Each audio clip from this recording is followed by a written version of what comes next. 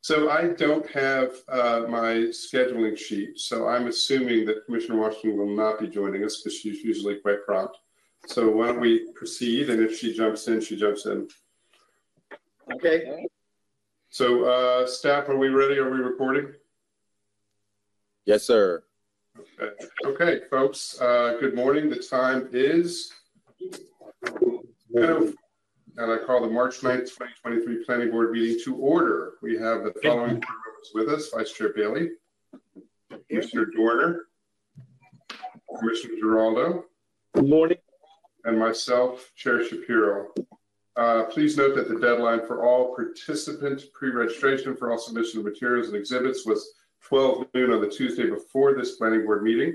Uh, registered speakers may join the meeting with the link provided in the email, which was provided by the planning board office, or listen by phone uh, by utilizing the call-in number provided in the email. Of course, anyone may tune in to watch the planning board meeting via live stream.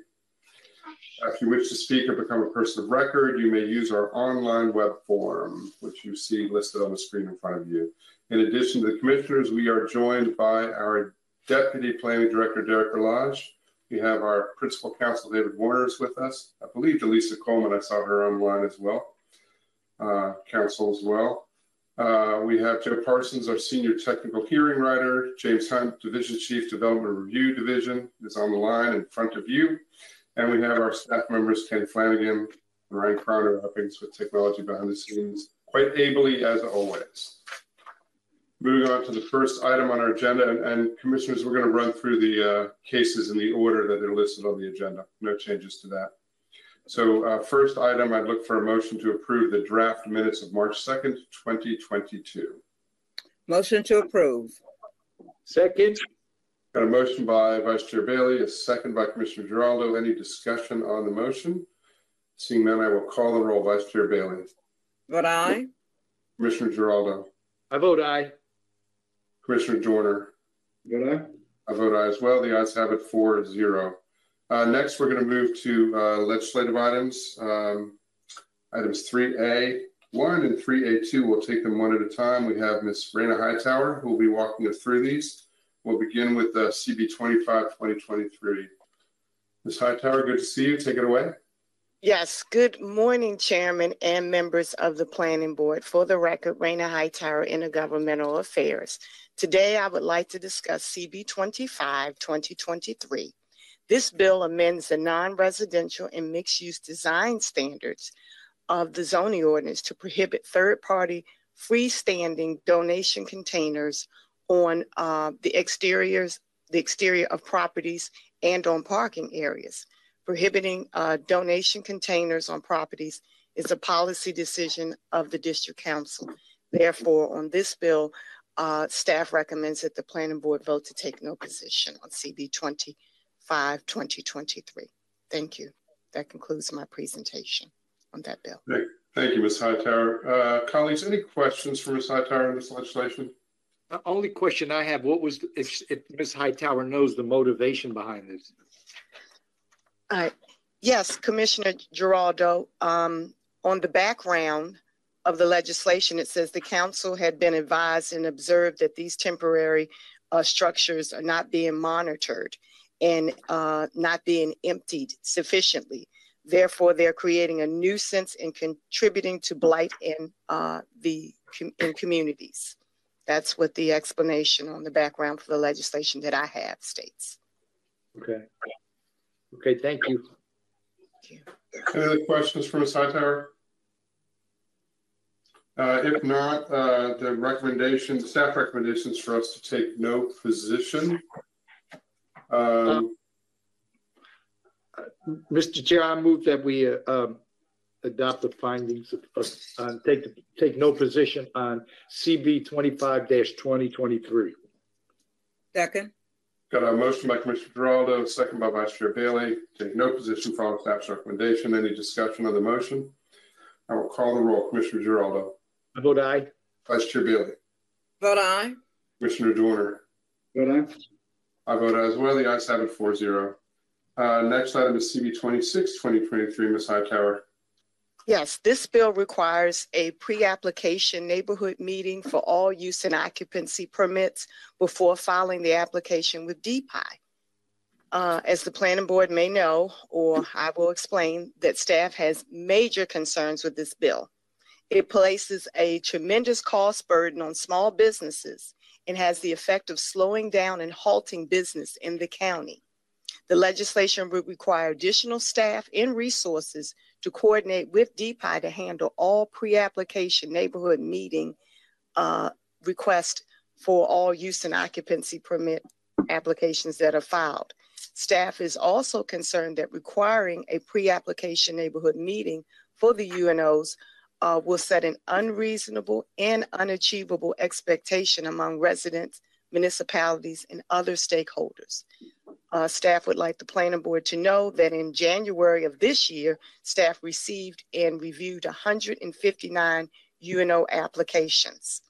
And in addition, in February, they also reviewed 134 UNO applications, and that that equates to between seven and eight applications a day. Staff also has procedural questions, which we have outlined in our memo to you. Staff believes this legislation creates impediments for anyone trying to obtain a UNO and will require additional staff and resources to implement this legislation. Therefore, staff recommends that the planning board vote to oppose CB 26 2023. Thank you. Thank you, Ms. Hightower. I, I, I certainly concur with staff comments on this. It feels like a, a, a unwieldy to say the least. Um, commissioners, any questions from Ms. On this? Yeah, I just want to ask Ms. Hightower. So I, I don't disagree with any of your justifications. Um, totally on on the same point as you.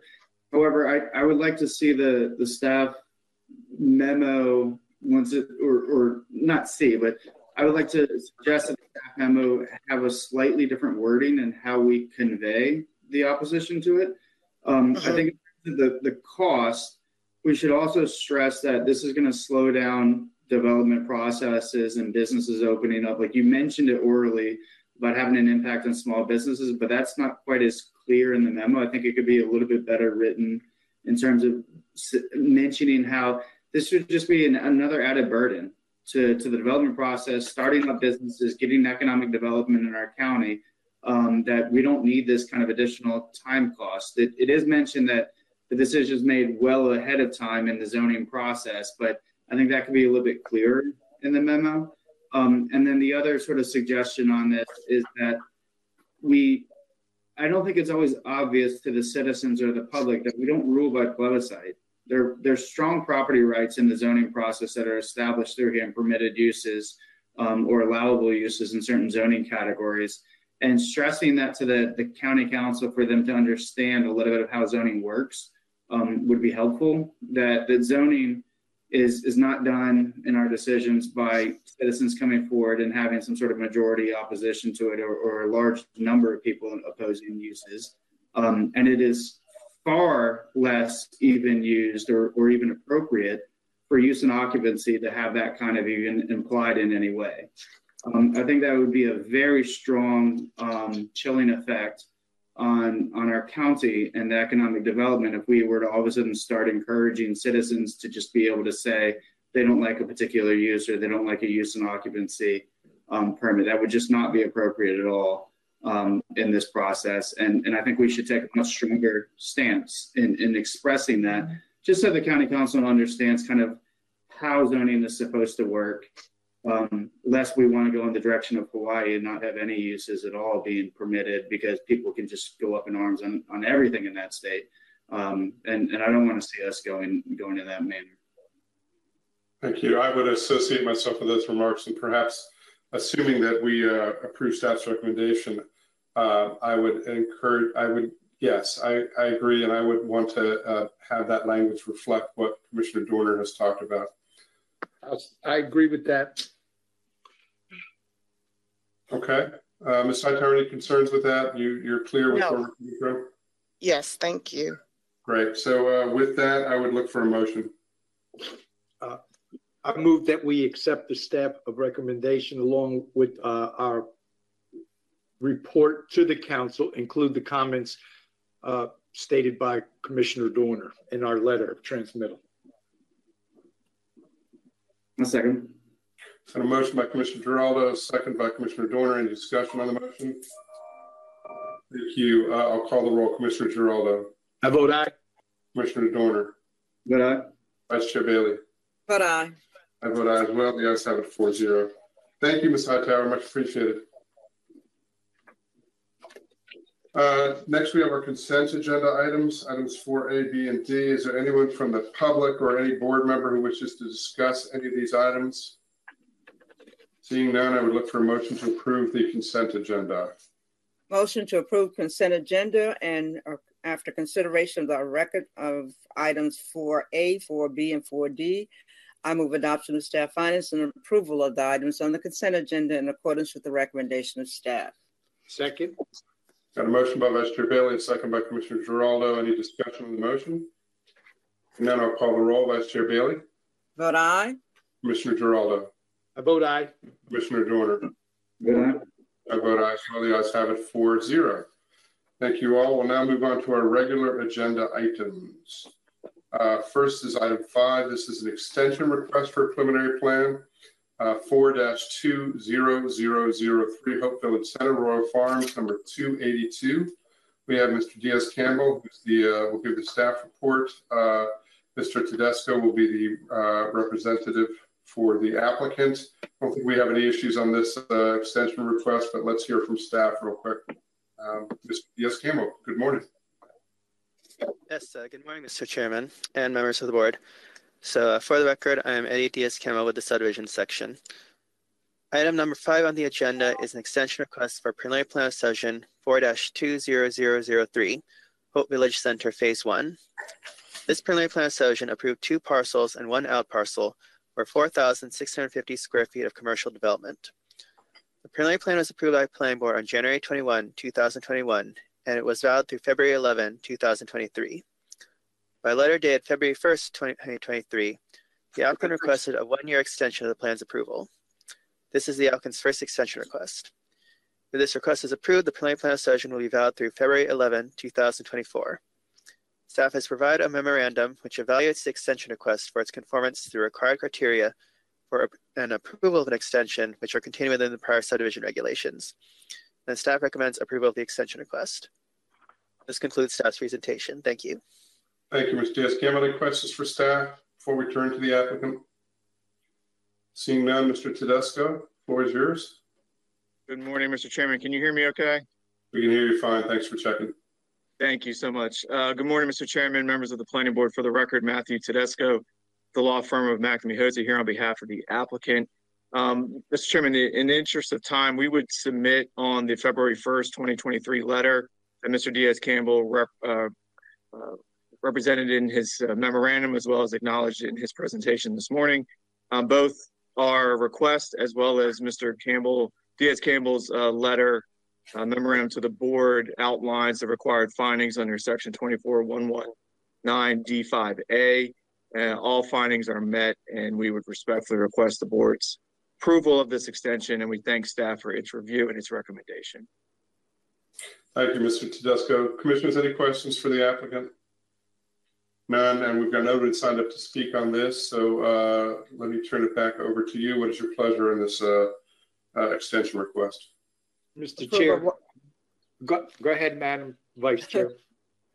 Uh, a motion to approve a one-year extension request as approved by the uh, PPS will be valid through February 11th, 2024. Second.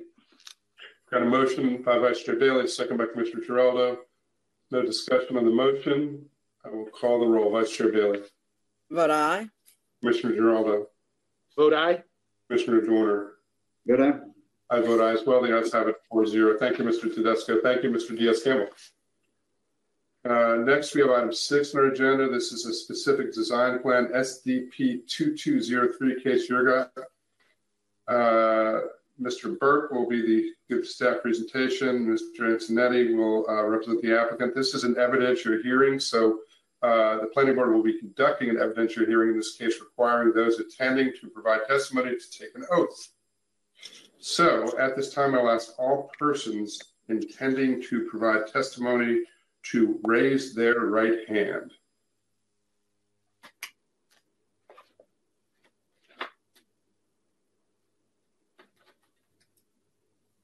Give folks a second to gather. Okay. Do you solemnly swear or affirm that your testimony will be the whole truth and nothing but the truth? I do. Yes. Okay. Yes. Noted. Uh, thank you all very much. So let me turn to uh, Mr. Burke for the staff presentation, and then we'll turn to Mr. Antonetti to see if there's any other issues. Mr. Burke, take it away. Uh, good morning. You can hear me well? Yes, sir. We can hear you fine. Great, thank you. All right, uh, good morning, Chair Shapiro, members of the Planning Board. My name is Tom Burke. I represent the Prince George's County Planning Department Urban Design Section. The proposal before you is a specific design plan, SDP 2203, um, known as Kate Surrogate. This application is listed as item six on the agenda. The applicant is seeking approval of this specific design plan for grading infrastructure only to support the residential development on this site. You should find in your additional backup materials submitted by the applicant containing additional findings, which staff is in full agreement. You also find letters of support from the community. Based on the findings presented in the, the technical staff report dated February 23, 2023, the urban design staff recommend that the planning board adopt the findings of this report and approve specific design plan SDP 2203 for infrastructure only and TCP 2 048 2022, subject to the conditions contained therein. This concludes staff's presentation. Thank you, Mr. Burke. Questions for staff before I turn to the applicant? None. Uh, turn to Mr. Antonetti. Let's see if you have anything you want to add on this case. Uh, uh, good morning, Mr. Chair, members of the Planning Board. Uh, for the record, Robert Antonetti with the law firm of Shipley and Horne, and we're pleased to be here on behalf of the applicant, Dreamfinders Homes LLC. Um, I do just want to briefly state that our uh, pretty much our entire development team is available to answer any questions, both representatives of the applicant, the master developer, and the consulting team. Um, I'd like to thank Mr. Burke for his thorough review um, and his uh, ability to collaborate uh, and communicate with the applicant throughout the process. It's greatly appreciated. Um, that being said, uh, we have uh, no disagreement with the staff recommendation or the uh, conditions of approval. We would um, and, uh, respectfully request that the additional findings referenced in the additional backup by Mr. Burke um, be referenced in a final resolution if the board so chooses to uh, approve this application. Um, with that, we uh, greatly appreciate your time. We're here to answer any questions that you may have, and thank you for your consideration of this request. Thank you, Mr. Antonetti. Uh, commissioners, any questions for Mr. Antonetti? I, I, just have one question for, for Mr. Antonetti, just for to be clear. Uh, is that in a separate exhibit with the additional findings, Mr. Antonetti?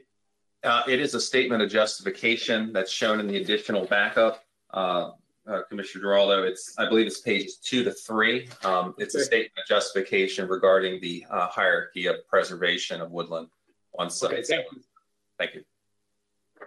Thank you. And, and building off that question, Mr. Burke, is there anything that's that should be assuming that we will move uh, affirmatively on this? We should include that in our motion, or do you just take that recommendation into account?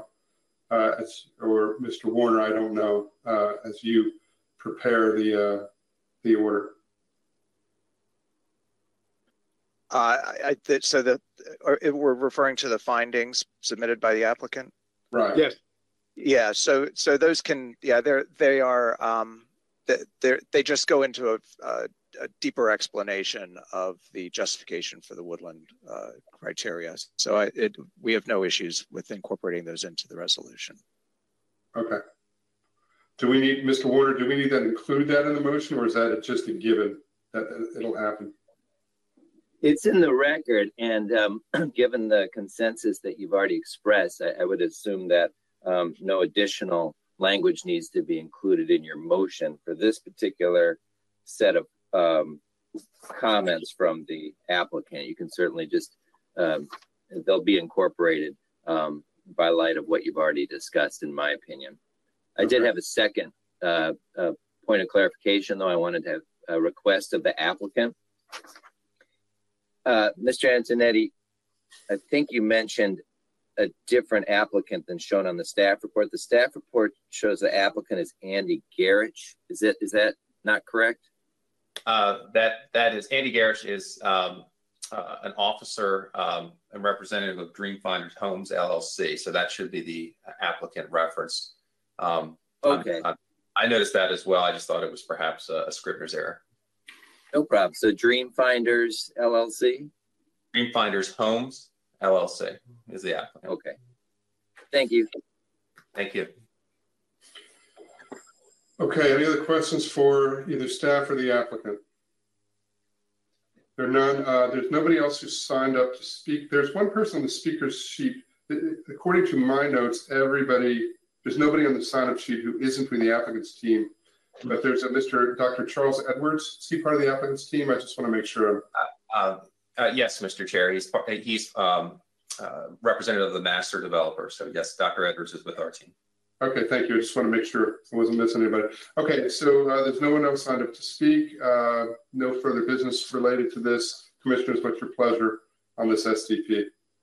Uh, Mr. Chair, uh, I would move that we adopt the findings of staff as amplified by pages two and three of the statement of justification by the application and adopt as well the uh, conditions imposed by staff and approves SDP 2203 and approve the Type 2 Tree Conservation Plan TCP 2 048 2022, and that uh, the correct applicant should be noted as well in the resolution. Thank you, Commissioner. Second. We've got a motion by Commissioner Geraldo, a second by Vice Chair Bailey. Any discussion on the motion? There's none. I will call the roll. Commissioner Geraldo. I vote aye. Vice Chair Bailey. Vote aye. Commissioner Doerner. Vote aye. I vote aye as well. The ayes have it 4-0. Thank you, Mr. Antonetti. Thank you, Ms. Burke. Uh, next, we have item seven on our agenda. This is a preliminary plan of subdivision 4-22017 Coles Manor. Uh, we do have a few folks signed up to speak on this, I believe. Um, uh, Mr. Heath, uh, Antoine Heath will give the staff presentation, and Mr. Zila uh, is the representative for the applicant. This also is an evidentiary hearing, so I want to uh, swear people in, which will be our practice going forward. The planning board will be, let me read this to be clear, the planning board will be conducting an evidentiary hearing in this case, requiring those intending to provide testimony to take an oath. At this time, I'm going to ask all persons intending to provide testimony to rate, show up on camera if you are on camera. Uh, you don't have to. Uh, uh, and raise your right hand.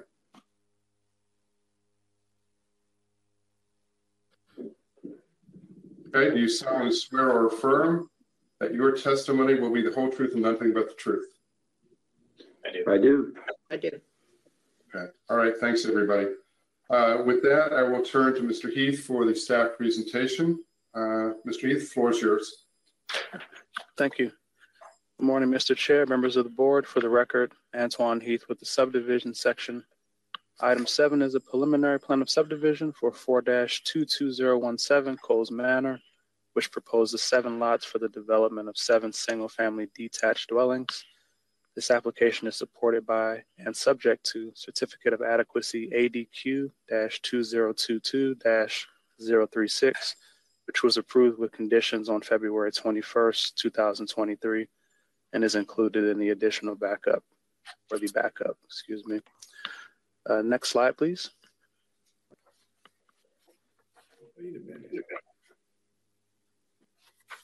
The site is located in northern Prince George's County within Planning Area 60 and Council District 1. Next slide, please. More specifically, the subject property is located on the southwest side of Brooklyn Bridge Road, approximately 50 feet east of Canfield Drive. Next slide, please. The subject property is located within the rural residential zone in accordance with the current and prior county zoning ordinance. The adjacent zones are the open space and reserved open space zones. Next slide, please. This aerial photograph shows the site in context with the surrounding properties. Uh, the properties to the east and south consist of single family detached dwellings. The abutting properties to the west consist of single family residential de development, as well as parks and open space development. Next slide, please.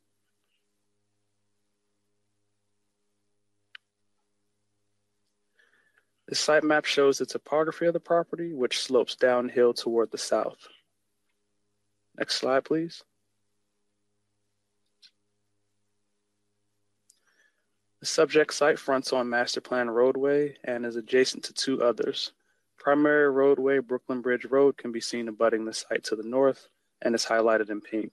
Collector roadway Bond Mill Road can be seen to the west of the site, highlighted in green, and Freeway I 95 can be seen highlighted in orange to the east.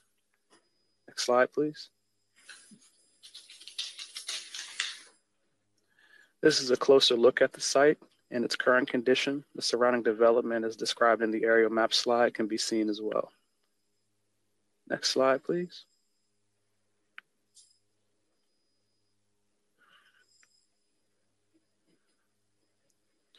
This is a look at the preliminary plan of subdivision, which depicts the property boundary in red with the existing and proposed rights of way highlighted in blue.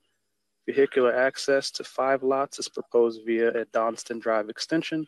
Vehicular access to the two remaining lots is proposed from Brooklyn Bridge Road. All proposed lots meet the minimum 20,000 square foot net lot area requirement, including lot seven when deducting the regulated environmental features on site. Next slide, please.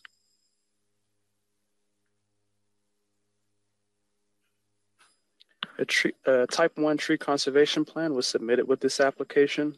A woodland to be preserved is highlighted in dark green. The site contains environmental regulated features known as primary management area, which are to the left of the pink dash line. Impacts to the primary management area are highlighted in green, in a light green, excuse me and the applicant is also uh, requesting a variance for removal of three specimen trees on site. These are crossed out in blue X's. These tree, these three trees are proposed to be removed due to the uh, close proximity to an existing dwelling on site, which is to be removed. This variance has been evaluated in accordance with the provisions of approval detailed on pages 12 through 15 of the staff report, and staff recommends approval. Stormwater management facilities are also shown on the conservation plan. This includes a submerged gravel wetland on lot seven. These stormwater management facilities are currently under review by DPI. All mitigation is required to be done on site. Next slide, please.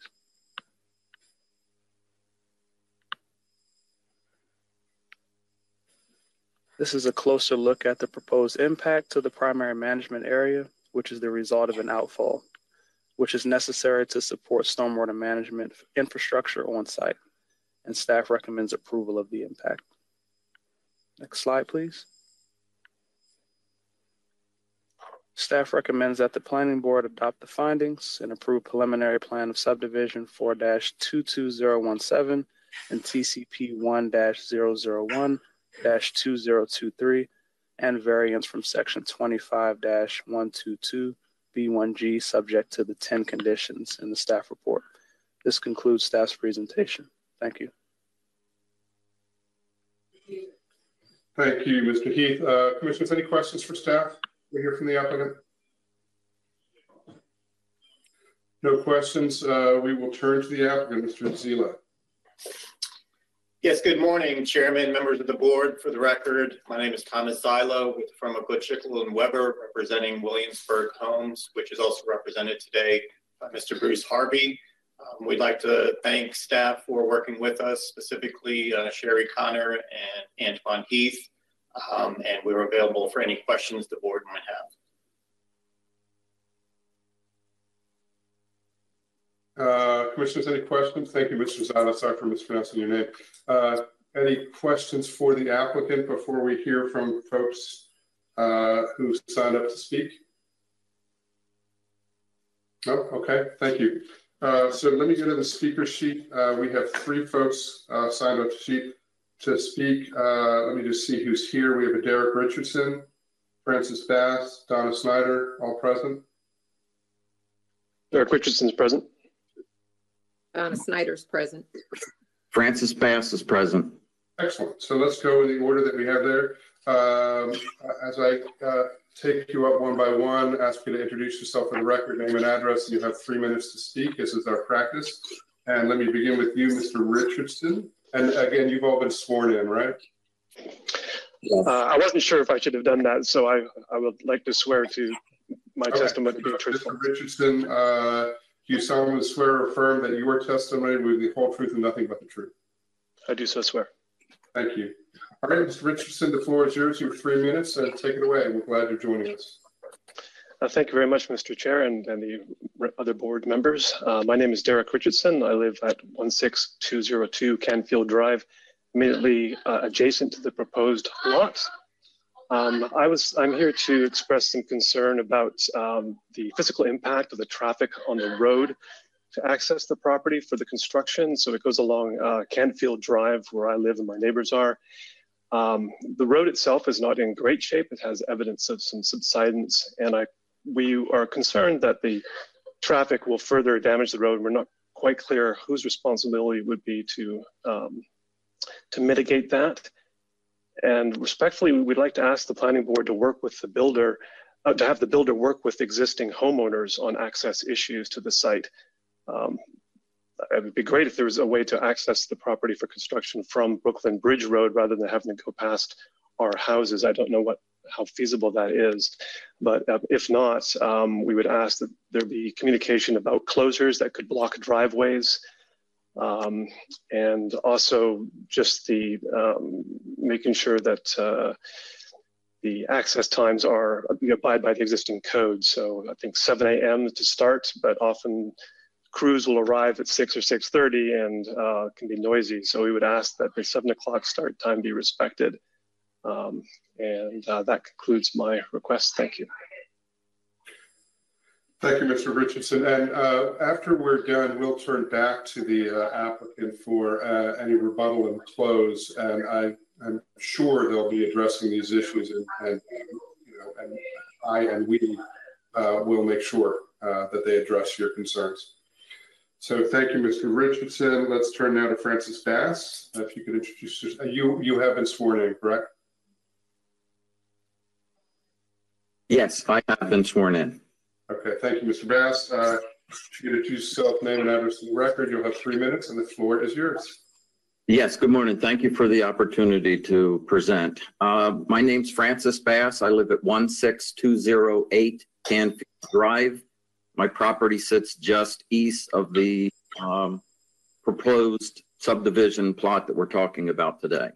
Uh, just one quick little small, my anal um, need for details is on the subdivision plot plan, it says that the property sits approximately 50 feet east of Canfield Drive. It actually sits 50 feet west of Canfield Drive. Uh, that is that that mistake carries out through all the documentation on n- numerous places. Um, one other, uh, two or three other things. Since Derek just mentioned, my one of my neighbors, Derek, just mentioned the uh, con- concerns on the street width in the street of Canfield Drive. Um, I want to echo his concern on the construction traffic. There are two things that I'm concerned about. Uh, and one is currently there are no sidewalks on Canfield Drive for the majority of the street. There are currently residents as well as, as school children who walk up and down Canfield Drive to access the school bus at the intersection of Canfield and Brooklyn Bridge Road. Uh, so my concern is once again with the construction traffic going up and down Canfield Drive as school children in the morning are trying to get out to their buses and get safely off to school.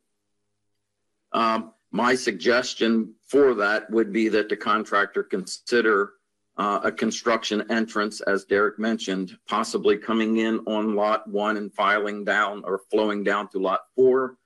uh, for the preliminary building of all the uh, homes. And then uh, once those lower units on Dunstan are complete, uh, lot one could be completed then. Um, one of the other concerns is with the width of Canfield. It is a narrow street. It's 26 feet wide. If two vehicles are parked adjacent or across the street from each other, there is only 12 to 13 feet width. I'm concerned about construction traffic of uh, dump trucks, prefabbed trusses, ceiling rafters coming up and down the street. Um, so uh, that was my concern there. Um, moving on to the second item on mine is my understanding, and I don't see anything listed in any of the documentation that there is an abandoned septic system on the existing property. Uh, family members of the property owner have notified me that that, it, that there is one. Uh, I see nothing. I'm not sure if that should be addressed at this time or not. Uh, so I'm leaving that open to question and uh, some response. Okay. Thank you, Mr. Bass. Again, we'll make sure that uh, uh, some combination of the applicant and staff addresses these issues in just a few minutes. Thank you very much for taking the time. Uh, next, we have uh, Ms. Donna Snyder. Good Uh, morning. You were sworn in as well, Ms. Snyder? I was. Okay, so the, if you could identify yourself, name and address for the record, the floor is yours. You have three minutes and take it away. Thank you. My name is Donna Snyder. My address is 7111 Donston Drive. I'm in the property that is adjacent to the proposed development. I am the south, that south um, west east corner, um, right next to where the proposed stormwater management um, gravel drainage um, is proposed. I, I echo the concerns of Mr. Richardson and Mr. Bass. Um, I also have concerns though about the stormwater management and runoff. We current, I, you know, I've lived in my property for over 30 years. We know that the prop, that the, you know, water flows down. Right now it pools. I have never had an issue with water coming into my house but with the proximity of where there, the proposed stormwater um, gravel is is proposed, I'm concerned ongoing who's going who's responsible for maintaining that, and if there it becomes an issue with water coming and eroding our prop my property, um, who becomes responsible for that? Okay. Thank you, Ms. Snyder. Appreciate it. Thank you. Um, those are the three folks I've signed to speak. I don't see anybody else on the list. Uh, anybody who was expecting to speak who's here? Okay, great. Um, so, uh, commissioners, any questions for uh, the witnesses uh, before we turn to the applicant for um, for rebuttal and close? None. Uh, the only thing I would add is that there was one of the folks talked about uh, uh, an error in the staff report, which I think is on the staff to to correct it. Don't think that's a major issue, but might as well uh, be as precise as we can. So, um, yes, uh, Antoine Heath for the record. Uh, yes, Mr. Bass is correct about the directional error, so I'll correct that with the resolution. Okay, thank you, Mr. Heath. I appreciate that. Vice Chair Bailey, question? You're on mute.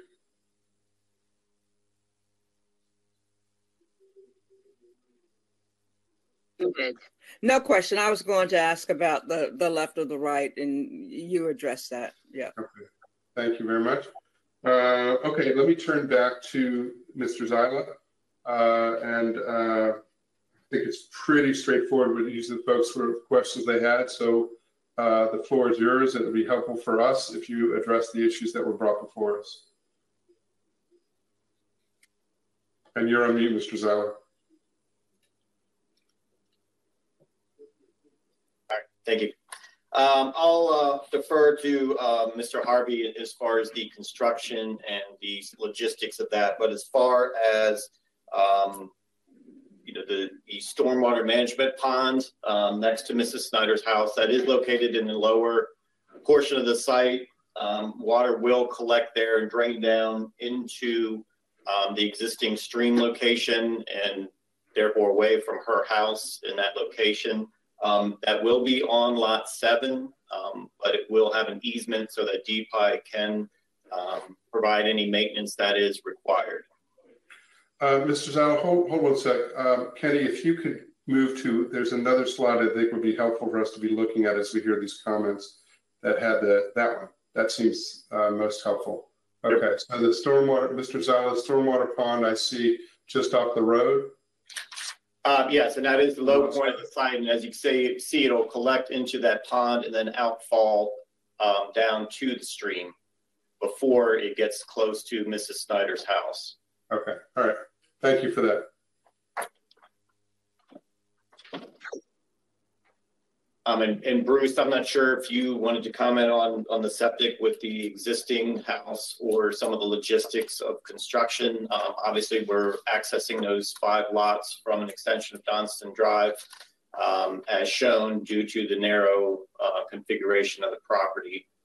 Um, there just wasn't enough room to come from off of Brooklyn Bridge uh, Road. And also, there would have most likely been um, a conflict with the proximity to existing Canfield Drive to have another public road. Mr. Harvey, are you in the line? Uh, I'm here. Can you hear me? Yeah, we can hear you now. Okay. It's Bruce Harvey, uh, uh, president of Williamsburg Group LLC, the applicant. um, so first off, just to respond uh, to a couple of the uh, uh, issues in terms of start time, uh, we're used to working with uh, adjoining property owners and uh, uh, uh the 7 a.m. start time to be respected. So that's certainly something that we will do. Um, in terms of um, the construction access, um, we will initially provide a construction um, temporary access off of Brooklyn Bridge. However, as we uh, complete the uh, extension of Dunston Drive, you know, it's going to be impractical that all the uh, construction equipment comes, you know, through that initial construction entrance. Um, we certainly would commit to um, work with the adjoining neighbors in terms of safety, in terms of making sure that there's no blockages. But in terms of the, uh, but as we build the homes, we're going to have to use um, the Canfield Drive entrance, and we're going to have to use. Uh, we can't start construction really until the Dunston Road is completed, and that's where you know the deliveries for those four um, five homes is going to have to occur. Um, uh, so that's uh, that's my response at this point. And the septic system, say again? Oh, yeah, the abandonment of the septic system, I'm not 100% sure on the, uh, how that's documented in the, uh, the plans. Uh, but obviously that is going to be abandoned and it's a, a typical process that, um, that we go through. Um, so yes, that, that septic system will be abandoned. Okay, so you're aware of it and you'll be mitigating? Yep. Okay. Uh, okay. Mr. Chair, did, did, did the applicant say they're going to, going to mitigate the uh, septic system? He did. Okay. Thanks for checking. Okay. Uh, so I believe that addressed the issues that were brought up, and I appreciate the thoroughness of that. Uh, uh, and I also appreciate your willingness to uh, cooperate with folks in the neighborhood. Uh, and, um, you know, I imagine you will be on their speed dial for the next number of months. Uh, but that is your job and you're used to that, correct? Uh, we're used to that. Um, yes, we are. Okay, great. Thank you. Um, Mr. Zyla, anything else uh, on rebuttal or close? No, that was everything we had on our side. Okay, great. Uh, we've got nobody else on to speak. We've heard from the applicant um, and folks in the community with their concerns. Uh, so commissioners, uh, we'll close this hearing and what is your pleasure? Mr. Chair, I, I move that we adopt the findings of staff as to be modified to make clear that uh, the road is west as opposed to east and uh, approve preliminary plan of subdivision four two two oh one seven, type one tree conservation plan, TCP one dash zero zero one dash two oh two three, and a variance to section 25-122B1G, the removal of the uh, specimen trees at, at Coles Manor, and that we uh, as well adopt the conditions of staff. Thank you. We have a motion by Commissioner Geraldo. Is there a second? Second. A second by Vice Chair Bailey. Under discussion, I would just note that we uh, we heard some uh, quite thoughtful comments from folks in the community, and, and Mr. Harvey has agreed to be in uh, regular communication with folks in the community to address issues, especially during construction, and we appreciate that as well. Uh, any other discussion? Seeing none, I look for, uh, oh, I'm sorry, I'll call the roll. Uh, Commissioner Geraldo. I vote aye. Vice Chair Bailey. Vote aye. Commissioner Doerner. Vote aye. I vote aye as well. The ayes have it 4-0. Uh, thank you, Mr. Zyla, Mr. Harvey, and Mr. Heath, and folks from the community as well. Thank you. We'll now move on to item eight. Item eight is a SDP specific design plan, SDP 2102 800 Prince George's Boulevard. We have Mr. Hatcher, who is uh, representing the uh, applicant. Mr. Burke will give the staff presentation. Uh, once again, since this is an evidentiary hearing, uh, uh, we're requiring those attending to provide testimony to take an oath. So at this time, uh, I'm not sure we're going to have anybody on this one, but at this time, I'm going to ask all persons intending to provide testimony to come online and raise your right hand.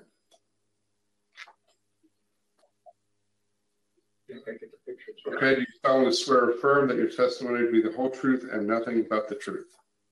I do. I do. Okay, thanks everybody. Uh, so I'll now turn to Mr. Burke for a, a staff presentation. Thank you. And good morning again, Chair Shapiro and members of the Planning Board. My name is Tom Burke, and I represent the Prince George's County Urban uh, Planning Department Urban Design Section. The proposal before you is a specific design plan, SDP 2102, known as Prince George's Boulevard.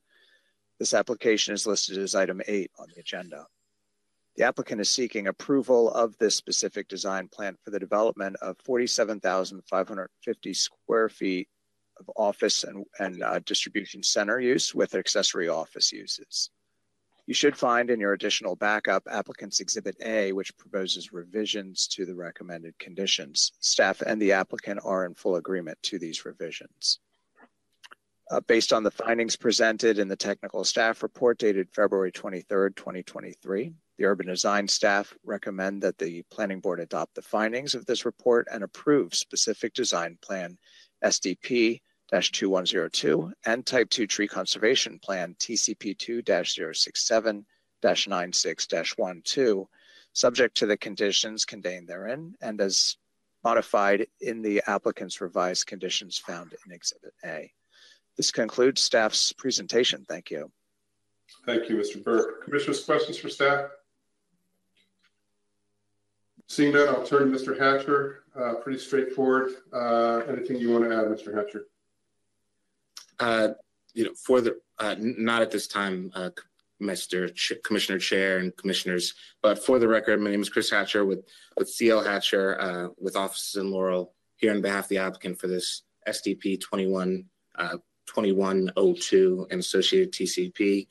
In the interest of time, uh, we do respectfully request that the Planning Board adopt the findings of fact and conclusions of law contained in the staff report um, and approve SDP 2102 and associated TCP um, as revised in applicant's exhibit A. Uh, there are several people from um, the applicant's team prepared to testify if the, the board has any questions. Thank you, Mr. Hatcher. Appreciate that. Uh, Commissioners, any questions from Mr. Hatcher or members of the applicant's team on this? Don't see any. Pretty straightforward. Thanks for all the work that you have done and done with staff, Mr. Burke as well.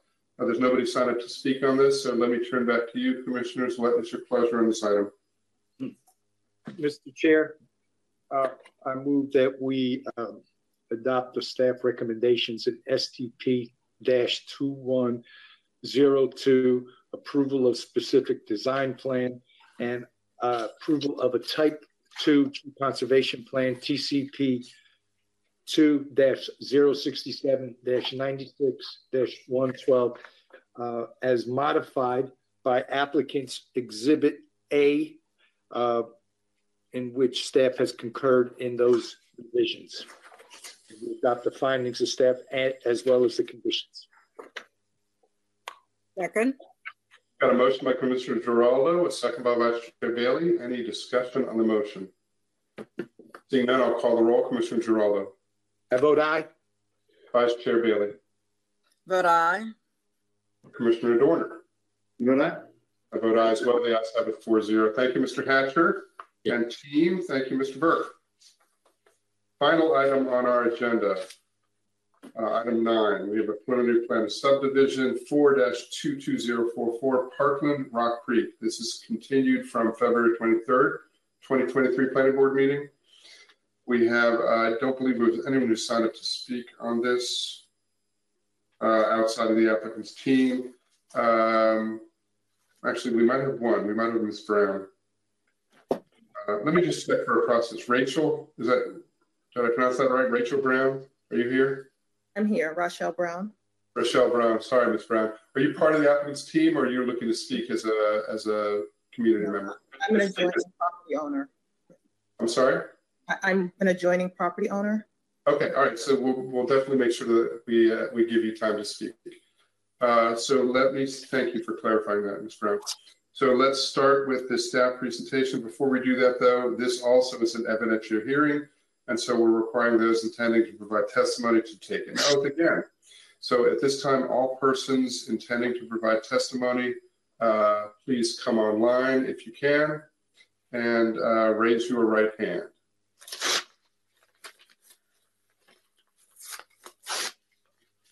Do you solemnly swear or affirm that your testimony will be the whole truth and nothing but the truth? I do. I do. Okay, thanks everybody. You're sworn in. Uh, now I'll turn to Mr. Heath for the staff presentation, followed by Mr. Tedesco, and then we'll hear from folks in the community. Um, Mr. Heath, take it away. Thank you. Good morning, Mr. Chair and members of the board. For the record, Antoine Heath with the subdivision section. Item nine is a preliminary plan of subdivision for 4-22044 Parkland Rock Creek, which proposes residential and commercial development.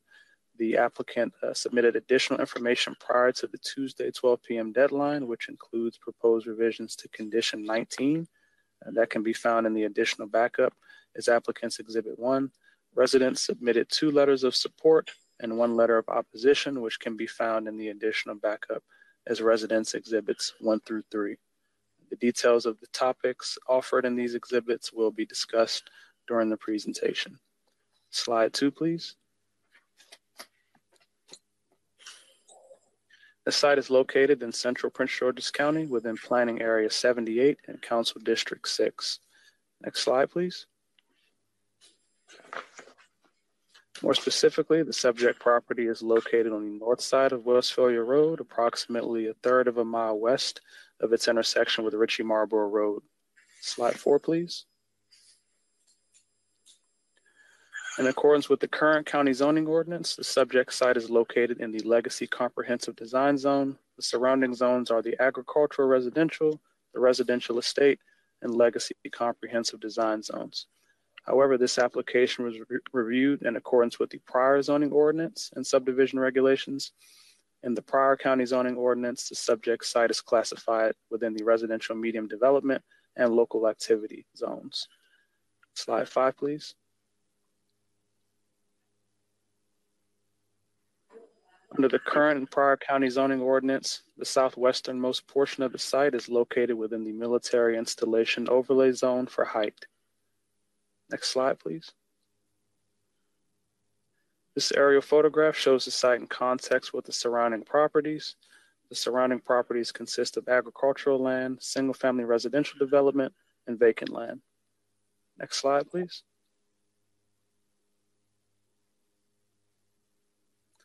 The site map shows the varied topography which exists throughout the property. Next slide, please. Subject site fronts on two master plan rights of way and is bisected by another. Arterial roadway, Ritchie Marlboro Road, can be seen highlighted in red on the north side of the property. Collector roadway, Westphalia Road, can be seen highlighted in green on the south side of the property. And the future location of major collector roadway, MC 631, can be seen highlighted in blue traveling through the site. Next slide, please.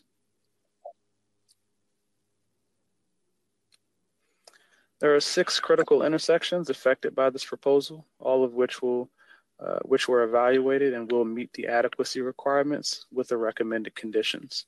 This is detailed on page 11 of the staff report. Next slide, please. This is a closer look at the site and its current condition. The surrounding development as described in the aerial map slide can be seen as well. Next slide, please.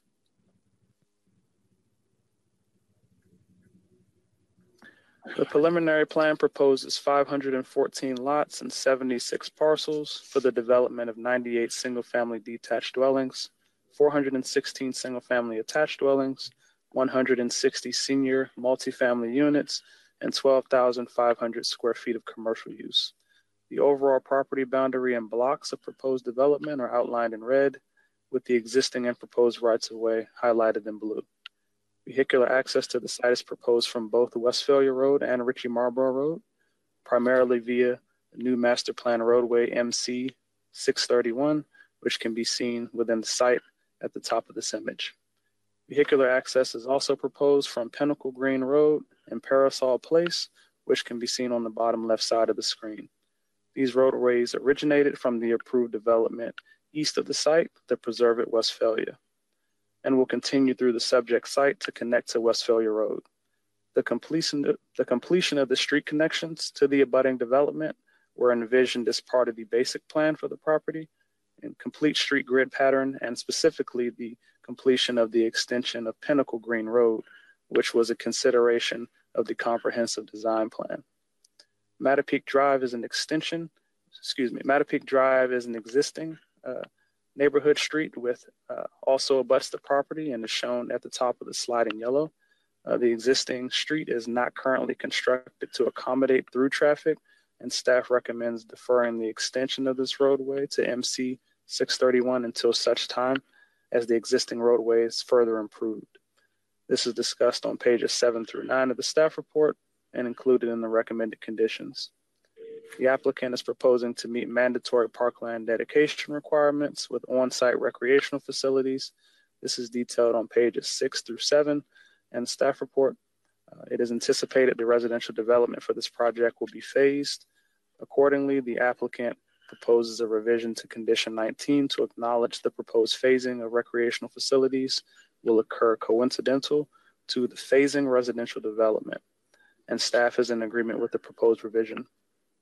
Adequate public facilities, including police, water and sewer, and fire and rescue, are available to serve the subject site. Next slide, please.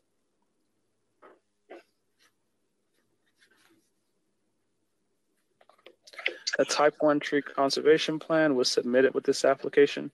Woodland preservation is highlighted in dark green and afforestation area is highlighted in light green. The site contains environmental regulated features known as primary management area, which are outlined in a yellow dashed line. Impacts to the primary management area are highlighted in red. The PMA impacts proposed are discussed on pages 43 through 46 of the staff report, which are found necessary to support required infrastructure as stabilization of soils for development of the site. Reforestation of some of these areas impact, impacted is also proposed where possible. Staff recommends approval of the PMA impacts. The applicant also requested a variance for the removal of 40 of the 132 specimen trees on site, which are identified in their approximate location within a pink X on the slide. These trees are proposed to be removed for the development of the site, including the planned roadways and other associated infrastructure. As discussed previously, the site has a varied terrain and contains marlboro clay, These factors, coupled with the required infrastructure, will necessitate extensive grading of the site. Staff is recommending the variance be approved for the 40 specimen trees.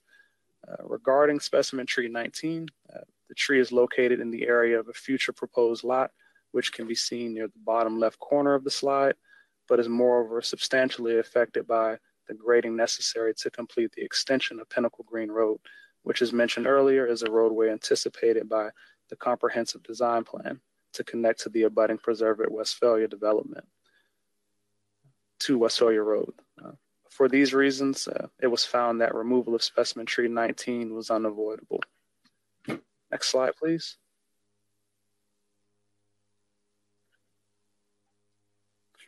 The applicant submitted two variation requests for the submission for the subdivision regulations. One variation is for the direct access to arterial roadway, Ritchie Marlboro Road. This point of access can be seen on the right side of the screen, highlighted with a red dot. And the other variation is for lots served by alleys that do not have frontage on and direct access to a public right of way. These lots are highlighted in blue. These variation requests have been evaluated in accordance with the associated provisions of approval detailed on pages 15 through 19 of the staff report, and staff recommends approval. Next slide, please.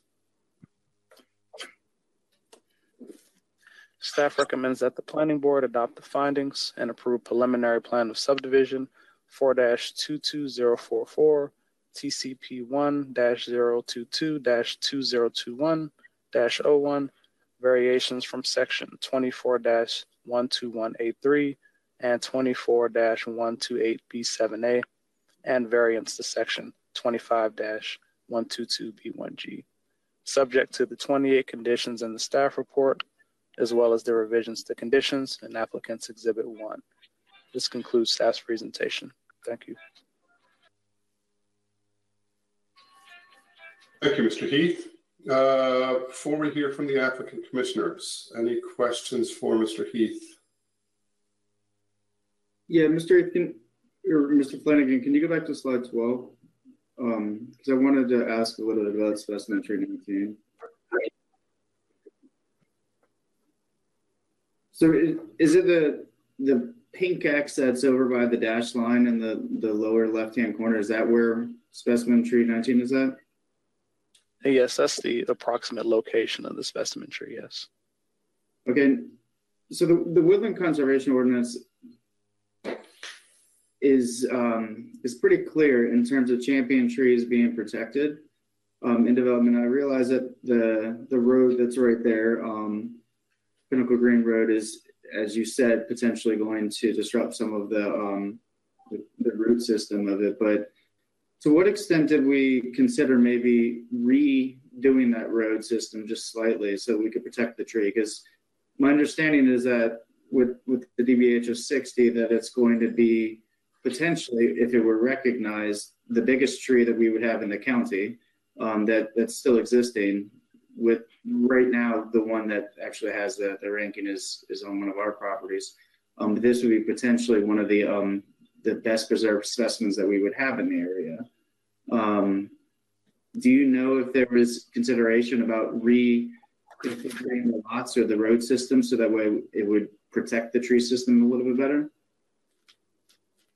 Uh, I, I, would have to uh, lean on uh, Alex Kirchhoff. He's our environmental planning reviewer who's who's with us today. Um, you know, as to to further um, elaborate on the decisions to uh, remove that particular tree. Um, but um, yeah, as I stated earlier, because this was a part of the the comprehensive design plan. Uh, Is Alex available? Uh, Commissioner Commissioner uh, Doerner and Mr. Chairman, in our case in chief, we're prepared to address that, and we can answer those questions as well if the boards would like the applicant to address those. Uh, not to take any thunder away from Mr. Kirchhoff, but we are prepared to address that as well. Okay. Well, when it when it comes to uh, your time, be sure to address that issue. Uh, do we have Mr. Kirchhoff, Mr. Hunt? I don't see Mr. Kirchhoff on. However, I do see uh, our environmental planning team on the line, so they may be available as well. Good morning, Mr. Chairman, um, members of the board. This is Katina Scholars with the. We can hear you fine. Okay. Uh, yes. So this tree right here, which is we, it is a champion tree. Um, it, I'm sorry, it is a specimen tree. It meets the definition of a specimen tree. So staff's approach is to review it the same way we review others in accordance with the findings uh, if it was if it's requested to be uh, removed.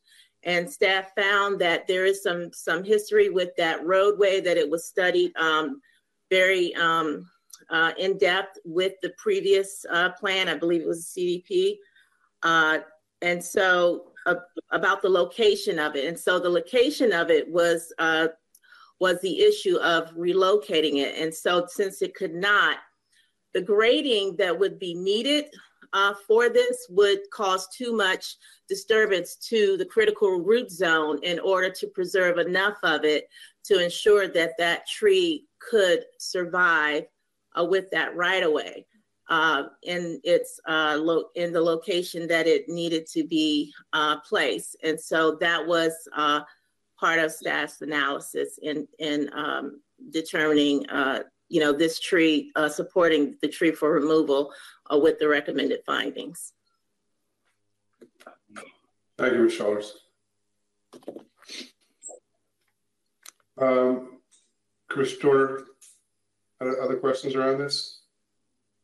Uh, no, not, not questions. My, what I heard is that the plan is going to disturb the root system and the tree might not survive. So that was the support the staff was giving to to the removal. What I what I haven't heard that I'm looking, Mr. Tedesco, for you to address is why wasn't the street reconfigured to go around? And I realize that it's not the champion tree that's being recognized as the, the largest in the county, but it sounds like it, it actually might be, even though it hasn't gotten that recognition. Um, it actually might be the largest one of this particular species that we have. Um, so I would be hesitant to just say, yeah, the roads are going to go over the tree system and it's going to, it may not survive, so we should go ahead and remove it, um, given its its extreme stature. So I'm, I'm hoping that you can provide a little bit more justification when, when it comes to you. Thank you for that, Commissioner. So other questions for staff before we turn to the applicant? None? Okay, Mr. Tedesco, the floor is yours. You can uh, take it away, introduce any members of your team that are going to be helpful, uh, and the floor is yours. Uh, thank you, Mr. Chairman, and uh, good morning, uh, fellow commissioners. For the record, Matthew Tedesco on behalf of the applicant, Stanley Martin Homes, uh, represented here today by Brandon Gurney and Sean Day, uh, both of whom are sitting to my left off camera, but they are with me uh, this morning. In addition to our team, we have the full assemblage of the Rogers consulting team, again, off camera in the room with me or at their workstations. We have Alex Villegas, Nat Ballard, Steve Allison, Rob Swam, and Jason Staley. Um, I will just acknowledge uh, Mr. Allison, given the most recent conversation we've had about uh, specimen tree 19. Mr. Allison is on the line. He's on screen currently um, and will be available to speak and to, to address anything that um, I may need him to or the board may need him to with respect to that tree in particular. But I, I do just want to acknowledge for the record that Mr. Allison uh, has previously been accepted as an expert in arboriculture in, in numerous cases in Prince George's County, including before the zoning hearing examiner at the district council. He is an ISA certified arborist as of 2015, and that status is current. He is also an ISA track TRAQ as of 2017, which is um, uh, ISA, just so everyone knows, is the International Society of Arborists, and track qualification is tree assessment qualification, which for which he is certified and has been accepted as an expert in those fields. Uh, finally, rounding out our team, we have Mr. Mike Lenhart from Lenhart Traffic and Consulting. Uh, Mr. Chairman, just for housekeeping purposes, and having appeared before you almost weekly, uh, certainly since the, the, new procedures and policies with respect to taking the oath um, have been implemented, I just wanted to acknowledge for the record that I did raise my hand to take the oath, notwithstanding my fact, notwithstanding the fact that I'm a licensed attorney in the state, obviously an officer of the court with a fiduciary obligation to tell the truth. I did want to just go ahead and take the oath. In the uh, abundance of caution, should any of my presentation or testimony require the administration uh, and to dispel any issues associated there too. I did uh, swear and affirm that my testimony here today is the truth for it to be accepted into the record. Um, I know we want to kind of. Let me, uh, let me just jump in on that part. The, sure. Talking about it. Uh, it is not, uh, given our current interpretation of this, it is not our intention that uh, attorneys representing applicants need to take the oath. So it, there's no downside from you having done it at all, as you said, but we're not requiring that. Uh, uh, understood. And just for preservation of any potential issues in the future, we it was easy enough for us to do that. So I just want to note that for the record. But I, I appreciate that disclosure, Mr. Chairman. Um, I know we're anxious to get to specimen tree 19 in response to uh, Ms. Brown's letter. Before I do that, I would just ask for your, your indulgence uh, so that I can go through a couple of high points related to this particular project. Um, I, I want to first and foremost sincerely thank your staff as it relates to this this project, um, and and they deserve to be named uh, specifically from the subdivision section. Ms. Sherry Connor, as well as Antoine Heath, who were the reviewers uh, on this application.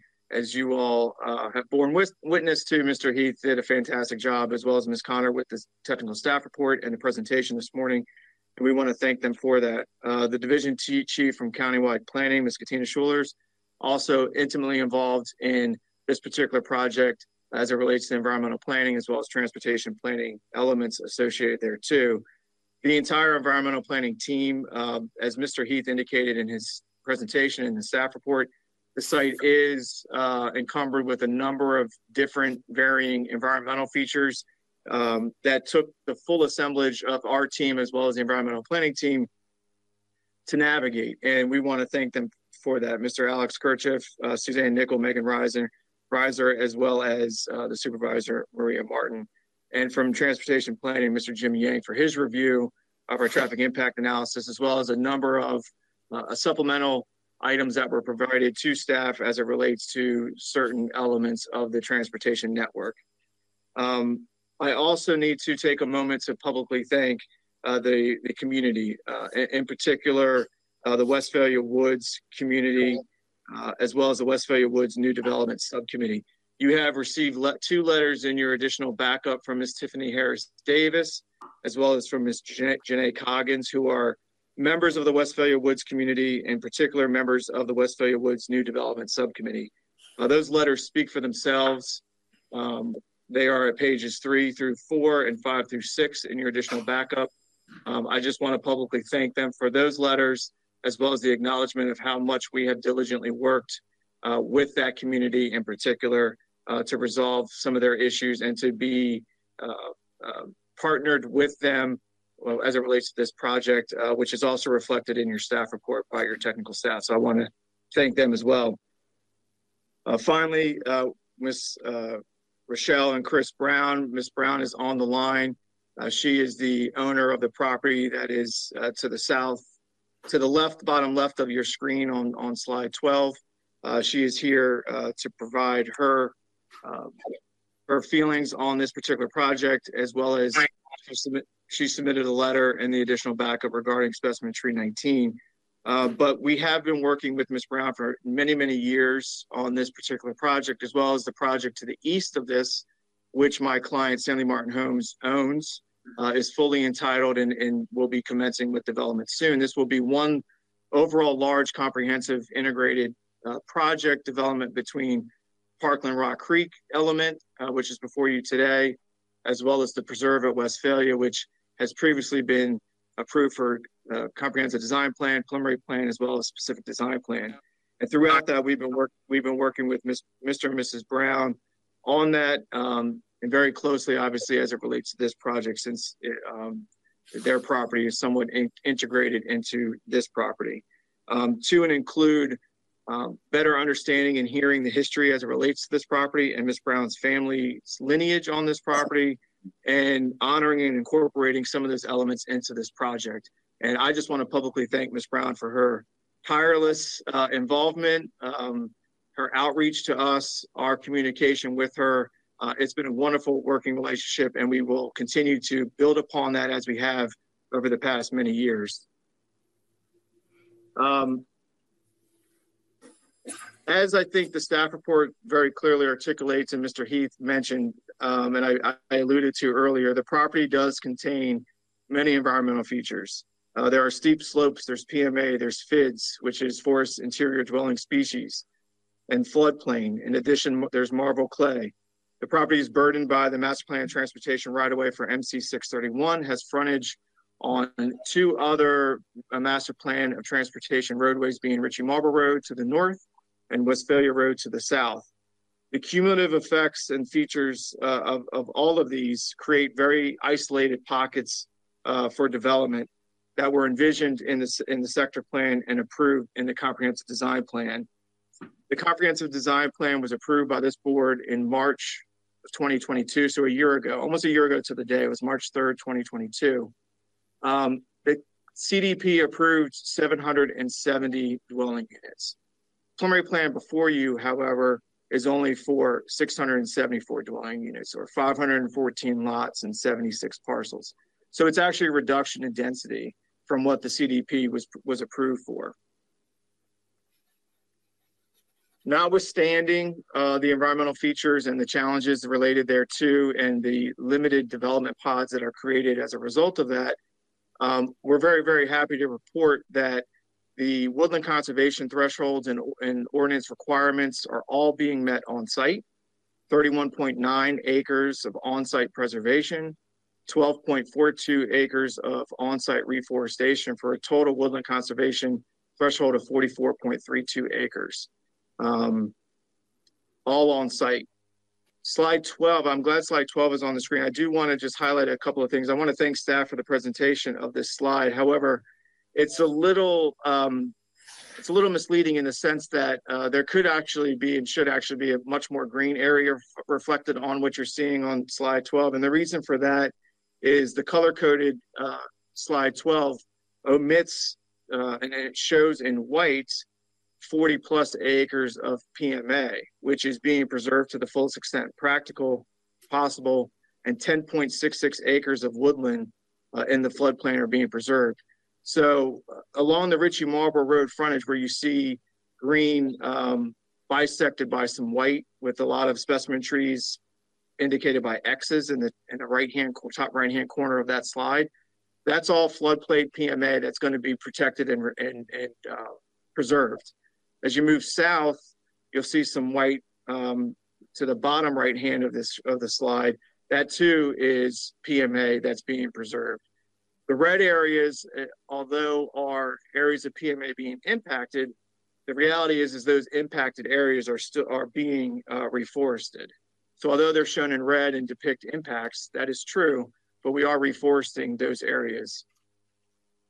Turning to specimen tree 19, which I think is really the, the crux of um, uh, certainly Commissioner Doerner's uh, questioning as well as Ms. Brown's uh, letter, which um, Ms. Brown did reach out to us earlier this week uh, and, and, and questioned the specimen tree 19, and we certainly got a copy of her letter when the backup was made available yesterday.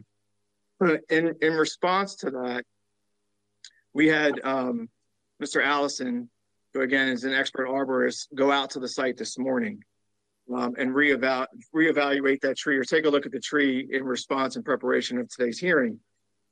And uh, um, although Mr. Allison is, is free to testify and I may ask him to supplement anything I may say, I just want to highlight a few things for the record um, as it relates to the applicant's position on that specimen tree. First and foremost, let me be clear in the record, it is not a champion tree. We do not believe it would qualify or meets the requirements for a champion tree. It is a specimen tree. However, it is not a champion tree. Um, from our perspective, in the, the Rogers Consulting's team's initial review in 2021, specimen tree 19 did not meet the requirements or criteria for being a champion tree as of 2019. It is a sycamore tree, and the current Sycamore County champion has a height of 109 feet with a uh, symmetrical crown, giving it a high score through the total point calculations. Height is a significant factor in points determination when assessing a champion tree. Mr. Allison's field investigation that was done conducted this morning estimates that the crown average of 94.5 feet and estimated height between 75 and 85 feet. With these calculations, specimen tree is under the total points necessary to be considered a county champion tree. During the field investigation this morning, storm damage and breakage of large scaffolding branches was observed at the base of the tree. The diameter of the large branches ranged from seven inches to five inches, with a length exceeding 10 feet. The breaks of the branches were not clean within the canopy and have a potential for rot in, in the future. Numerous branches within the canopy were observed in a decay state and wound wood was present. Immediately at the base of the tree, debris was observed in the form of discarded metal pipes, fencing, broken down vehicles, two built barns within the critical root zone of the tree. Metal pipes fencing were observed to be propped on the trunk of the tree. Uh, we have provided staff with pictures of what was observed this morning. However, we understand it was obviously after the Tuesday deadline, um, so that they're not presented here this morning, but we did present those to staff. Given today's assessment, considering the breakage of the scaffolding branches and the dead branch decay, it is the opinion of Mr. Allison, who again is an expert arborist, uh, that the specimen tree 19 condition should be downgraded from good to fair. In your staff report, it's it's indicated as a as a good condition based upon today's uh, investigation. He would downgrade that to a fair. In addition to that, we, um, I think Mr. Heath and Ms. Schuler's hit on it. The necessary grading and fill uh, to accommodate uh, the road connection of Pinnacle Green Road uh, further disturbs the critical root zone. So, Mr. Uh, to Commissioner Doerner's question about relocation of the road, um, as you may remember, Commissioner Doerner, we during the time of the CDP, we actually requested the board uh, not to require this connection um, from Preserve at Westphalia running east, running uh, west and south to connect to Westphalia Road. Um, we actually had shown uh, Pod E as not having that connection there. Um, the transportation planning staff, uh, as well as the uh, urban design staff and others, uh, and it's in your resolution from the CDP, felt very strongly and advocated uh, quite persuasively uh, for that road connection. Uh, we examined it pursuant to the condition that this board imposed at the time of CDP to explore that connection. And there were no actual operational or engineering reasons for why that connection could not or should not be made.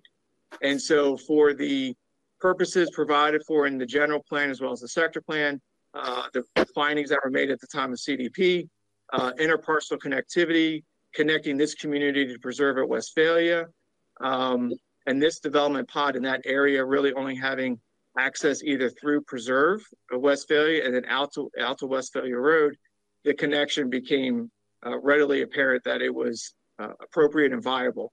We had no legitimate basis to articulate why that connection should not should not should not or could not be made. Um, for that reason, the, the preliminary plan was designed uh, originally pursuant to the CDP to show single family attached units products along Pinnacle Green and in that pod. However, in consultation and working with Ms. Brown, who has the residence uh, in the bottom left corner, it was requested of us by Ms. Brown to please consider modifying the lot layout and the develop and the development proposal for that area along Pinnacle Green to remove the single family attached homes in and around her property, which we did. Um, and you'll see on the screen before you the preliminary plan now proposes a single family detached in and around that lot um, to better uh, uh, to, to better align with uh, Ms. Brown's single family home that's on her parcel. So in that development pod E, notwithstanding the road connection, we, um, we did we did revise the plan to include single family detached. Now, as you all know, the, the zoning or the subdivision regulations require single family detached homes to be accessed by public streets. So we couldn't further reduce the paving width or the right of way width to accommodate an alley or something of that sort because that would have resulted us in having to do single family attached product that may or may not have resulted in an ability to you know potentially avoid some impacts to that tree, although complete and total avoidance was not going to be possible given that connection. Um, so with that being said, and those being converted to single-family detached homes and it being a public right-of-way that has to meet specific road standards and radii requirements of the county, um, that road alignment is shown as it's proposed in, in that configuration. Any additional further reconfiguration would require uh, realignment of the road to and include um, stops, uh, 90 degree angles instead of the, the, the, radii that were shown there, which meets the county regulations and uh, would result in a loss of, uh, a substantial loss in, in development availability, which as you, as I pointed out, and that's why I pointed out earlier, this preliminary plan is already a significant, well, I won't say significant, this, this preliminary plan is already a reduction to the density that was approved at the time of CDP. So further reduction um, to provide a 90 degree uh, street that would then require stop controls uh, uh, signals as well as other DPI and DPWT review, circulation um, limitations, etc. Uh, the loss of further density would be a hardship to the applicant. Um, so for all those reasons, unfortunately, to and include uh, the on-site investigation this morning, uh, we think that the criteria for the variance as it relates to specimen 19, excuse me, it is met. Um, I'm going to pause there just because since we're on the topic, Mr. Allison is queued up and he did the actual on-site investigation. Uh, my testimony on behalf of that was um, provided to me from him, but I want to give Mr. Allison, if it's okay with the board, an opportunity to further articulate his actual in-field findings and um, investigation from this morning. Thank Mr. you. Chairman. Mr. Warner. Uh, just uh, David Warner, Principal Counsel. I did have a, a question, uh, clarification for Mr. Tedesco. Um, the the um, testimony that he gave about the, uh, uh, the whether it's a champion tree or not, its height, uh, its condition, it sounded to me like he was reading Mr. Allison's report, or is he giving that testimony based on his own expertise? I think he's saying that it's Mr. Allison's opinion, not his. But so Mr. Allison's the expert, so I just wanted to clarify whose testimony that was. If Mr. Yeah. Tedesco could do that for the record.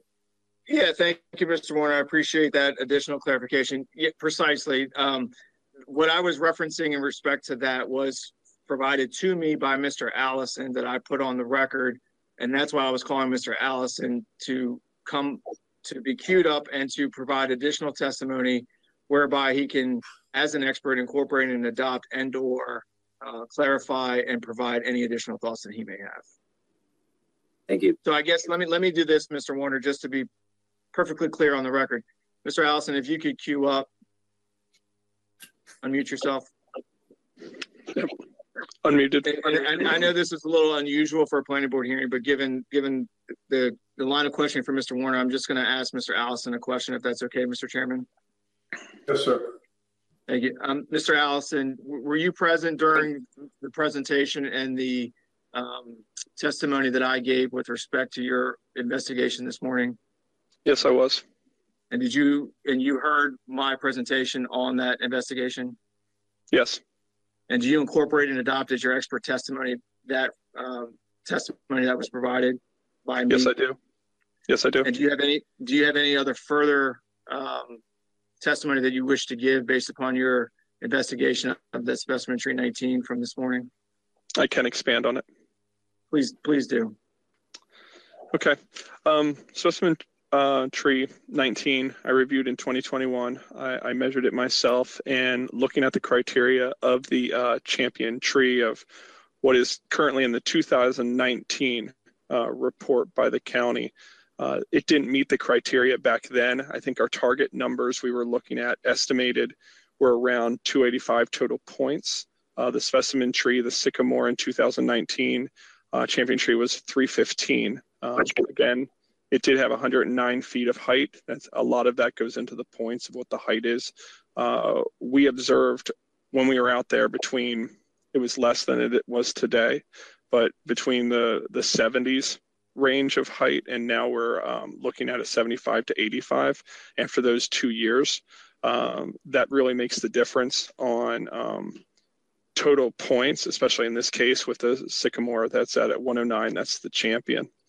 Uh, observing it today, uh, I wanted to speak on the, the condition reduction.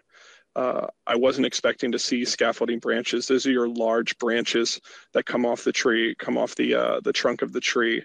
There was about five that were down from storm damage. These weren't clean breaks off of the uh, the Foster branches that were there, and those different types of um, not flush cuts and breaks in the wood can cause abiotic and biotic uh, entry into the tree itself, and then the tree has to compartmentalize um, off of that. So some of those larger branches, especially with older trees in this nature, when those fall, that's definitely a concern of mine.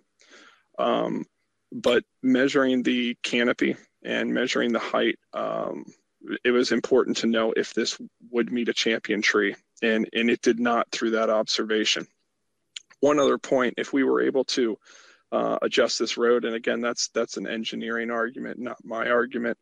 Uh, one of the things I want to take into consideration that wasn't in the testimony is the compaction of soil within the critical root zones. As I mentioned, there was two different, or that was read, two different barns that were located uh, within this critical root zone. And uh, through aerial view, even back from the 80s, there is uh, drive aisles, natural surface, but drive aisles between the um, the the two barns, um, knowing that that's been happening for 30 some odd years. There's compaction already within that critical root zone.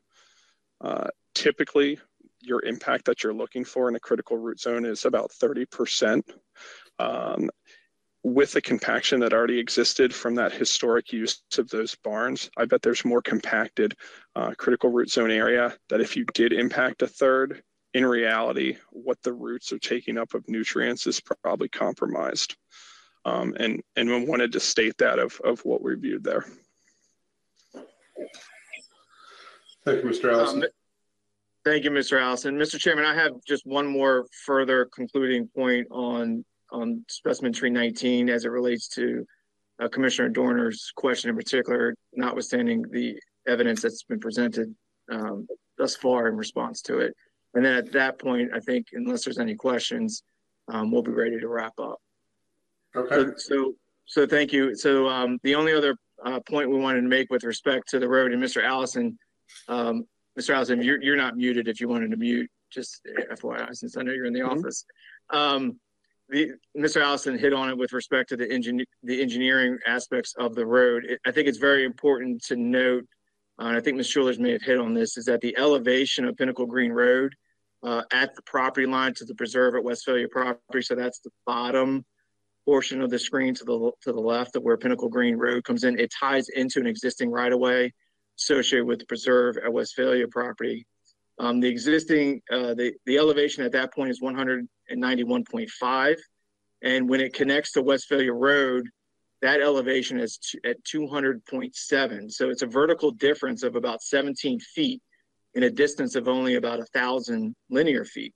So the design of Pinnacle Green Road um, within the subject application proposes two vertical curves with a short 100 foot tangent uh, section between them as shown on the on um, the grade establishment plan with, that we did provide to your staff.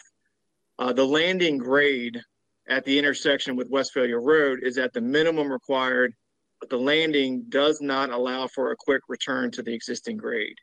So the resulting road grades require seven to 10 feet of fill in and around that tree to accommodate that road. So I, I just want to conclude as it relates to specimen tree 19, and, and we we've done everything we can, please, and I hope Ms. Brown can acknowledge this, but we've done everything we can to be responsive and accommodating to all the requests and demands um, that have been made not only of the Westphalia Woods community as reflected in your additional backup with their support letters, but also as it relates to um, design of the project in and around Ms. Brown's property.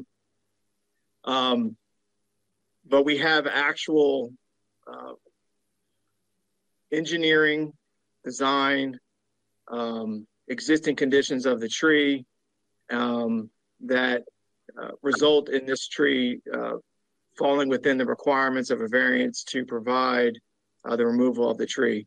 Um, so with that, Mr. Chairman, the only thing I, Mr. Allison has requested that he address the planning board for one final item. And then at that point, um, and I appreciate your indulgence on this, but it's an important issue and we want to make sure we're thorough and we, we provide a complete record here. Uh, I'd like Mr. Allison to come back on and then at that point, Mr. Chairman, we'll, we'll be ready to conclude. Thank you, Mr. Tedesco. Mr. Allison, back to you. Yes, thank you. Uh, as we're looking at this uh, display here, I did want to make one clarification. You see the dash line, uh, the ring going around the pink X uh, for the specimen tree removal. That is not the critical root zone. That is a symbol. The critical root zone actually goes 50%. 50% of it goes within the Pinnacle Green Road. So I want to make sure if somebody's viewing this and taking a look and seeing, believing that that was the critical root zone and it's all outside of the road, that is incorrect. It is a symbol. And when the, within our TCP, you can actually see the amount of critical root zone that goes into the Greenwood Road. And for a tree, uh, for this specific tree, the critical root zone is over half an acre. Thank you, Mr. Allison. And um, I guess having uh, attending today's planning board hearing in a conference room with my client and others in the room, I'm, I'm, they're helpful in letting me know that I may have misspoke on one of the things I said with respect to the grading. I think I may have said the, um, I was told I was that the Westphalia Road elevation was at 200.8 feet. It's 208.7 feet. Uh, so you have 109.5 at the connection of uh, Preserve and 208.7 at Westphalia Road making the 17 feet of uh, vertical dif- difference at the 100 at 1,000 linear feet. So um, thank thank you to my uh, to my colleagues on the team for correcting that. I wanted to make sure the record was clear.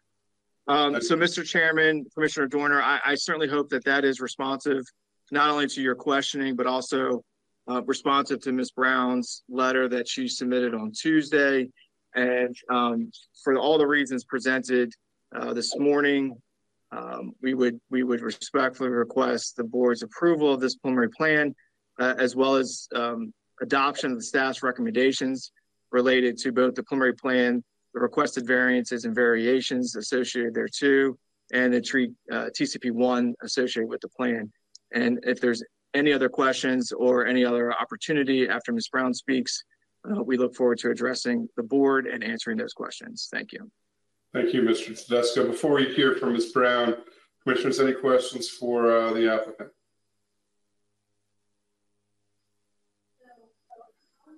Uh, Mr. Doerner, are you, you're on mute. Are you asking a question?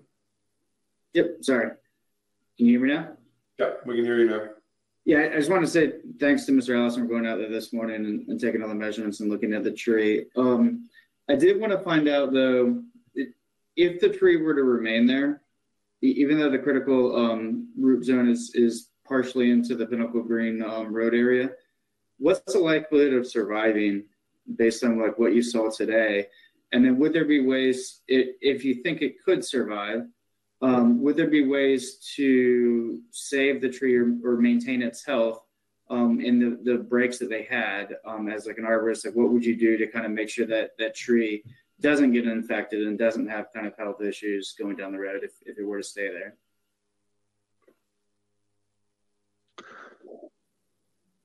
Understand, just want to make sure I understand your question. Um, if the critical root zone was impacted as what we see today, which is it estimated about 45%, is that what you're saying of the current state if we impacted 45% of the critical root zone? Yeah, so so if the tree just stayed there and, and, the road was built as is, but then you didn't have the kind of two lots or so that were that that are being proposed to be there, do you think the tree would survive? And then if the answer is potentially yes, then like what would be potential ways of maintaining its health, um, given that you saw some some breakage in, in the branches and, and other areas on it?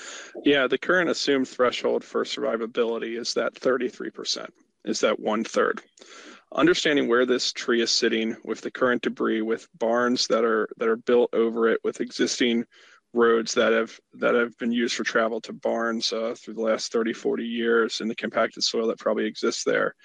I'd say it's it's um it's speculation but i'd say that it would be in decline by cutting 45% of its uh, structural and fibrous root system and then compacting that area Um, to respond to what would you do to improve the health, uh, you can create flush cuts uh, where you've had storm breakage, which basically makes it uh, less likely for moisture to get in there for an abiotic or biotic, biotic disorder uh, to come into the tree. One of the concerns that I saw when I was looking up at the tree, and we have photo evidence, is besides the breakage, there was tree branch decay. And that's when a branch uh, it removes its bark and uh, it's basically brown or black, and you get a callus ring from the trunk of the tree. I noted about four or five of those uh, where it was almost like a dead stick sticking out of a tree. That could be a symptom of another disorder that I wouldn't be able to identify just as a view. You'd have to look into it further. Uh, by seeing that on there and then the fresh branches um, led to me moving it from good in 2021 to fair. Um, compact the soil on top of those additional stresses, I, I think you'd see more rapid decline. Thank you. Thank you. So, Mr. building on that, so Mr. Allison, rapid decline means, uh, you know, it's likely this thing will be gone in two, three years or 10, 20 years. I mean, I, I, I just, I'm not an expert at this, but what's your, you know, what could we expect if there was, if there was a movement to sort of keep the tree where it was and to Commissioner Doerner's point, to sort of pull out the one or two houses that are going where the tree's going, where the tree is? Yeah, I couldn't I couldn't speak to years per se. It's it's a living it's a living species that adapts to to a certain threshold. But from what I understand, if you lose 45% of your root zone, you already have stress within this tree that's using energy to to basically seal itself off and compartmentalize. And you add of losing nearly 50% of your water connection and, and energy root systems for carbon out of the soil, um, you would have a decline much more rapid um, w- with that loss of those roots. Uh, could I speculate two to three years or 20? I can't do that. But typically, you would see a much more rapid decline if you would lose half of your energy source from the roots. Okay, understood. I appreciate that. Okay, thank you, Mr. Allison. Mr. Tedesco, uh, anything else? Um, I think I'll reserve at this point, Mr. Chairman, uh, after Ms. Brown uh, assess whether there's anything further we need to uh, provide in rebuttal. Okay, thank you. Thank you. Thank Commissioners, you. any further questions for the applicant before I turn to uh, folks who signed up to speak, which is Ms. Brown? Not. Uh, Ms. Brown, turn to you. Uh, you were sworn in, correct? Yes, sir. Thank you. And uh, if you could state your name and address to the record, and uh, we'll give you three minutes to speak. This is our practice. Uh, and uh, I'm glad you're here, and the floor is yours. Yes, my name is Rochelle Brown. Um, my address is 10704 Westphalia Road in Upper Marlboro, Maryland. Um, um, I, I, think everyone knows our property is that um, rectangular exclusion from the this proposed development. Um, so I first I want to say thank you to Mr. Allison for coming out um, this morning before this hearing. I will say that um, and, and you know just Mr. Tedesco had mentioned I my husband and I have had ongoing conversations and check-ins with um, the applicant uh, team and you know we have appreciated being kept apprised of changes um, we reached out um, in january um, and, um, and again in February for updates about and what's being what was being submitted for this um, preliminary plan of subdivision. Um, we the Mr. Gurney and his team met with us in February, and um, I found out last Thursday night when I logged onto the planning board's website that this variance was submitted in January despite the email exchanges, despite meeting um, with Mr. Gurney and his team, we had no idea about this this variant. So my husband and I had, you know, less than seven days, five days to absorb all of this information. We reached out to um, the applicant, Mr. Gurney and his team, to ask questions about this specimen because I mean, as soon as we saw it, you know, because this this this this is one grand sycamore tree. It's beautiful. It's right behind our house. We look at it every day. So, you know, and and and so we had to work with all the, the information that was in the record. this is a conversation. This is um, these efforts that were rushed this morning, um, having Mr. Allison come out to, um, you know, create new evidence for you all to make a decision on this morning. Um, this should have happened before now. Um, so I'm, I'm really concerned that this all of this this flurry of activity happened this morning and um, rather than even having a, a meaningful response um, to my emails last week, last Thursday, um, about what what this why this particular specimen was in in the variance request. So I understand that the environmental planning um, section could only rely on the information that was current at the and, and what was in the record. Um, there is a record and there's a lot of new information that was presented here today. So what I would request is that um, the, the, board defer making a decision and, you know, let's really evaluate all of this information and, and figure out if there are additional questions and things that need to be done. That's my request. And then also the champion tree status, there's a process for that. So request that we nominate the tree and just let it be evaluated. Thank you. I see my time is up, so I will stop. Thank you, Ms. Brown. I appreciate you taking the time to come to speak before us. Um, we've got no one else signed up to speak. Uh, before we turn back to the applicant, commissioners, any questions for Ms. Brown?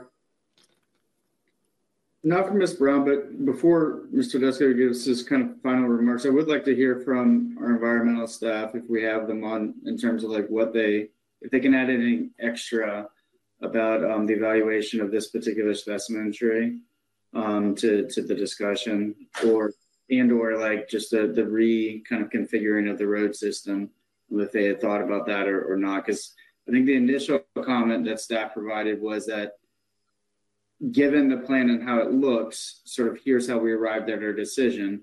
But what i didn't hear was well we engaged in thinking about like whether or not we could reconfigure this the the site so that way the road didn't go over the critical route system um, and, and I know Mr. Tedesco mentioned some things about like the 90 degree angle and other other aspect, aspects of that, but I didn't hear our staff mention anything about sort of the, the discussion back and forth potentially on it. Uh, good, um, good, good, good morning again. This is Katina Shoulars. Uh, we did look at that, and you know, as you can see, the the way the the alignment of the road is, it's a curvature.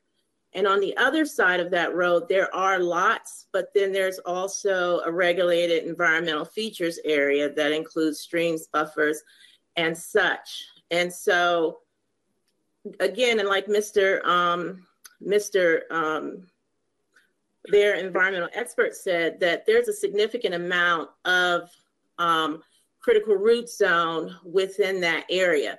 So even if that road were shifted, I mean, there would be lots that have to be reduced, but then there is the possibility of shifting some of the impact also into uh, the PMA. And I'm and and so I believe, given the con- condition of the tree that was discussed today, um, you know, you're going to have to save a significant amount of root area to maintain the conditions that that tree has become accustomed to um, growing in. Um, and so uh, saving, you know, what we look for is that at least two thirds of the uh, critical root zone is preserved in order to give the specimen tree a chance to survive.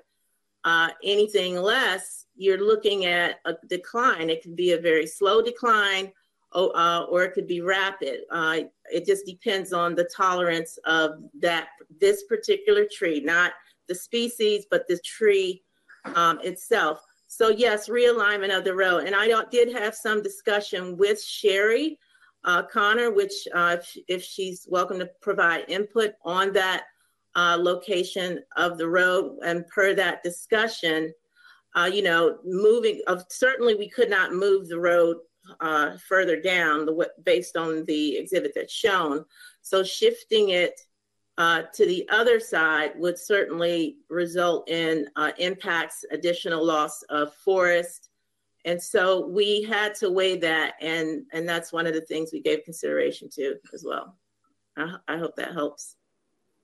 Yeah, that, that was definitely helpful. Let me ask um, a, a slightly different question then, because it, it was raised by by Ms. Brown in terms of extending the case to give a little more time for consideration, and, and I'm noting that we're we're actually quite a ways off from the mandatory action period.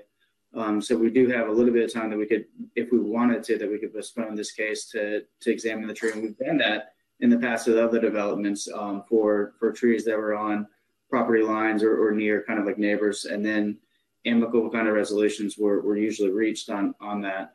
Um, do you think it would help or change um, kind of the view if there was a little bit more time to go out and actually measure the team, like if we or the tree, if we were to get the parks department to go out there and measure it based upon the criteria used in 2019 um, to see whether or not it would it would actually be ranked um, close to um, the existing champion tree, or do you think that you're you feel adequate enough um, with what you've heard today from like Mr. Allison and what you've done that that it's just not going to be possible to save the tree either by um, leaving it there where it's at or even reconfiguring the the system, and you don't think additional time would be useful?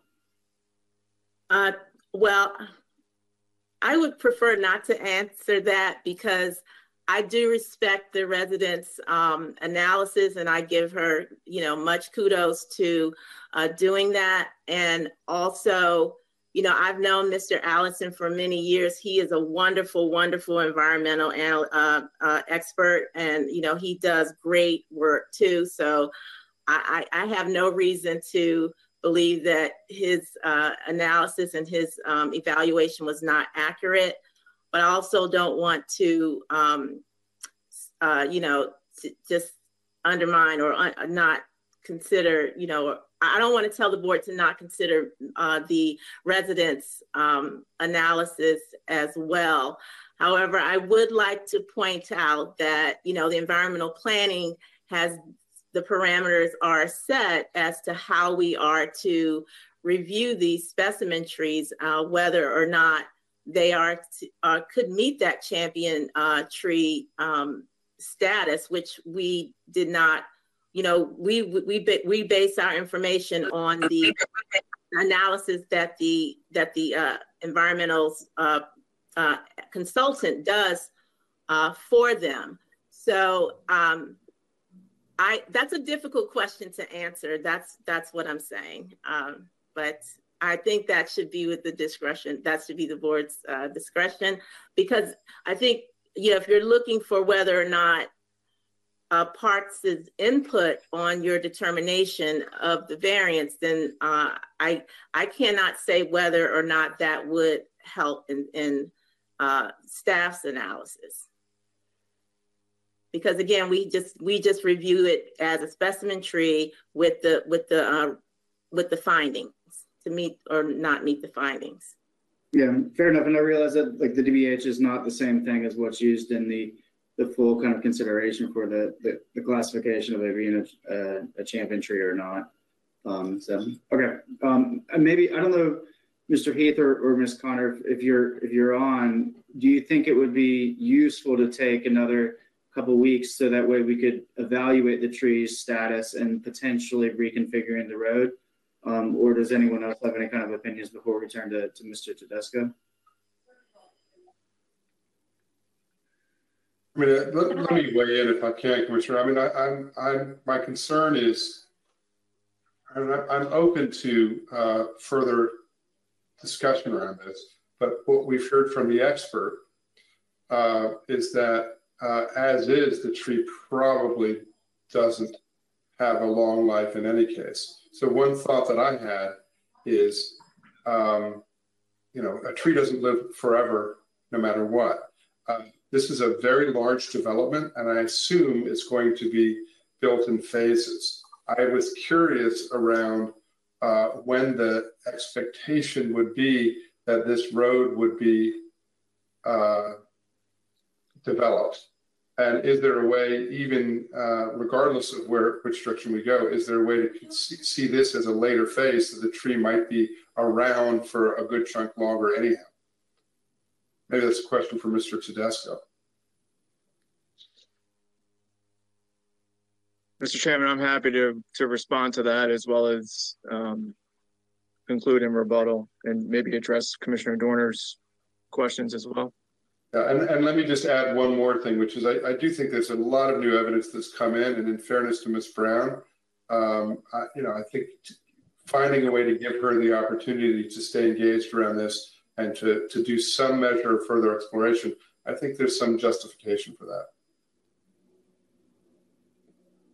Well, if I can be heard on this, and I'd, I'd welcome Mr. Um, Warner's comments on this as well. Yeah. So it's impossible to have every piece. I mean, we, we strive very, very hard to make sure we have every piece of evidence and, and in the record ahead of time so that the board and the staff can make recommendations and we're required to provide certain items 35 days prior to coming to the hearing. But the hearing is purposely set up to provide evidence into the record for the board's consideration. It's precisely why you're now swearing in witnesses because you take evidence at these evidentiary hearings and every applicant has the right to provide evidence at these hearings. And if we're going to take the position with all due respect that because an applicant comes in with supplemental information or supplemental evidence or opposition for that matter comes in with supplemental information and we're going to continue these cases, we're never we're going to find ourselves in a very difficult spot um, uh, very, very quickly. I, I, would, I would, I would suspect. So, um, for that reason alone, I just want to be very cautious in saying that the, the the evidence and the testimony that you heard today was directly in result to a letter that we didn't get until the additional backup was posted. So, uh, although there were email exchanges going back and forth between my client and Ms. Brown, we did not receive the, the letter until yesterday and, and in response to that, in preparation of this hearing, as I would hope you would expect every applicant and its consultants to do, we wanted to make sure that we had the latest and greatest and best evidence to present to you all today in response to Ms. Brown's letter and her contention and request to preserve and save the tree, notwithstanding mountain of evidence that suggests and supports the findings for the variance to have the tree removed notwithstanding the fact that it's already compromised and, and, and based upon Mr. Allison, who is an expert in ar- arboriculture as well as um, uh, tree assessment qualification, testified today that it's already in a state of decline to, to an extent that he would downgrade its classification from 2001, not even two years ago, to now fair. That, that will continue to degrade itself just naturally. Um, so I think we have every right uh, in an evidentiary hearing to present any and all evidence on the day of the hearing um, to this board so that the board has a full record to make whatever decisions that it deems it needs to make based upon the legal required findings in any particular case. And that's precisely what it was done. I, I, I do want to just, with the utmost respect, um, yeah, let me, let me stick it on that because I'm not suggesting by any means that there's anything inappropriate that you did by bringing this evidence to us. This is exactly what we're here to do. It's more a question of, with this new information, does that mean that we might want to take a pause and take more time to evaluate? So just to be clear, you're following the rules and regs perfectly appropriately. I also, uh, and this this is the nature of working from home. Um, I need to take a five minute break. So even though we're right in the middle of this, um, we're going to take a five minute break and I'll see you all in just a bit, okay?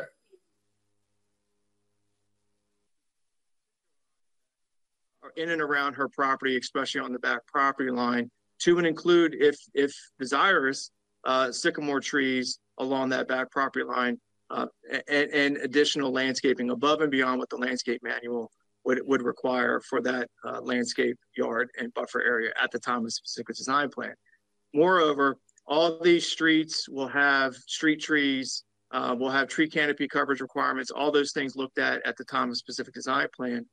Um, unfortunately, given the current conditions, given the current circumstances surrounding that tree, given the current uh, requirements as it relates to preserving PMA, the road has been located in, in response to transportation planning sections requirements uh, or requests at the time of CDP uh, to provide this connection we have redesigned this pod in response to Ms. Brown's request as far as single family detached homes. That comes with requirements in and of itself.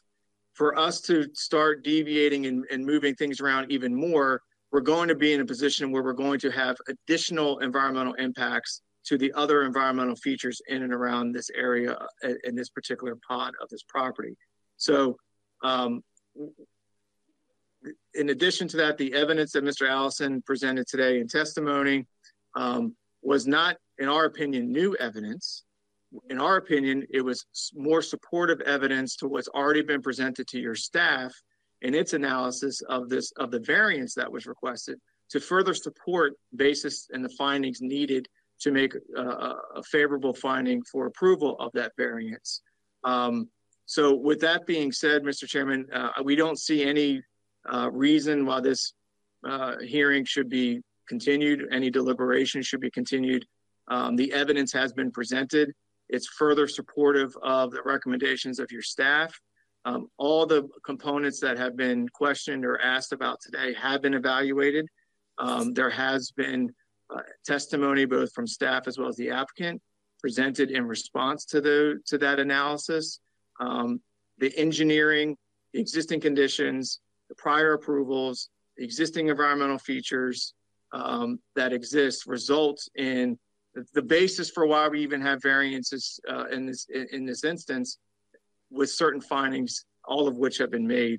Uh, so with that, Mr. Chairman, uh, I think I'll just start repeating myself if I continue, which I know nobody likes. So I will conclude by respectfully requesting uh, a favorable motion in support of this preliminary plan as recommended by your staff as further modified by exhibit applicants exhibit one uh, to revise condition 19 and approval of the TCP one. And we thank you for your indulgence and for your consideration of this application. Thank you, Mr. And one more question I had, uh, again, around the phasing of this development and when you imagine this pod would be developed. Yes, thank you for that reminder, uh, Mr. Chairman. Um, this particular pod would be part of phase two.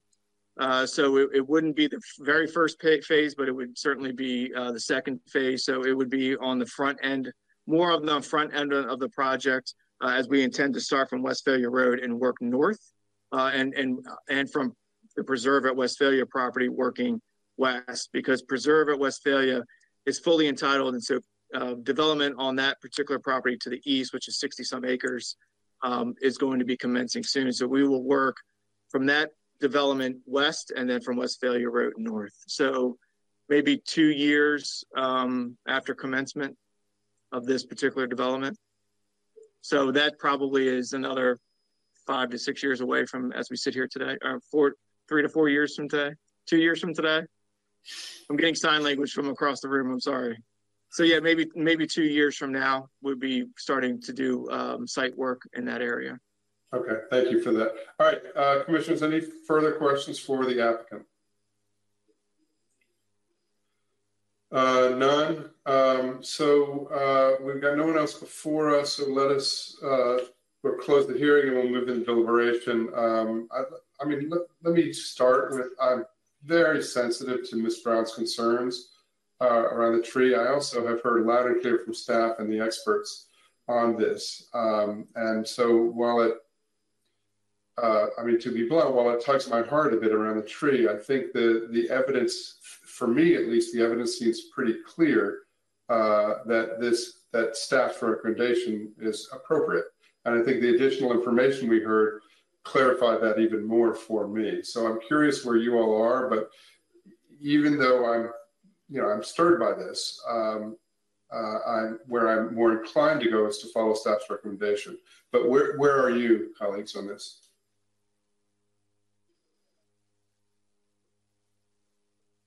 Mr. Chair, as for me, I've I've looked carefully and read the materials, and I certainly am uh, empathetic to Miss Miss Brown and her husband's concern. Um, I'm just kind of flabbergasted as the amount of specimen trees being cut already um, for the, for this development, um, and I, I guess I'm kind of confused, and maybe Mr. Tedesco can explain it. Why if you got if we have those those PMA areas in the white that you described earlier, why are you why is it necessary to remove looks like about 10 to 15 specimen trees in the PMA areas? We're talking about in the, uh, in the north portion of the property. Right. It's a lot of trees. So we are, we're actually under deliberation, but let, let's, uh, let's shift our process a bit because I, I would be curious to hear from Mr. Tedesco on that as well. So commissioners, if you don't mind, let's pull Mr. Tedesco back into this and hear from him. Is in the PMA. So in particular, the trees that, if you can hear me, so the, the specimen trees that Commissioner Geraldo is referring to are on the periphery of the PMA. Um, and there's also infrastructure related to Ritchie Marlboro Road in those northern portions. So again, you know, this project um, is balancing a lot of different components, right? We have we have master plan and transportation requirements with MC 631, road widening with Ritchie Marlboro Road and Westphalia Road, coupled with environmental planning requirements with Marlboro clays, PMAs, steep slopes, FIDs, et cetera. Um, so it's a, it's a balancing act with this particular project. And I think with, with working with your staff, uh, any of those trees that you're referring to are one on the periphery and two, where those impacts in the PMA are occurring, we are reforesting.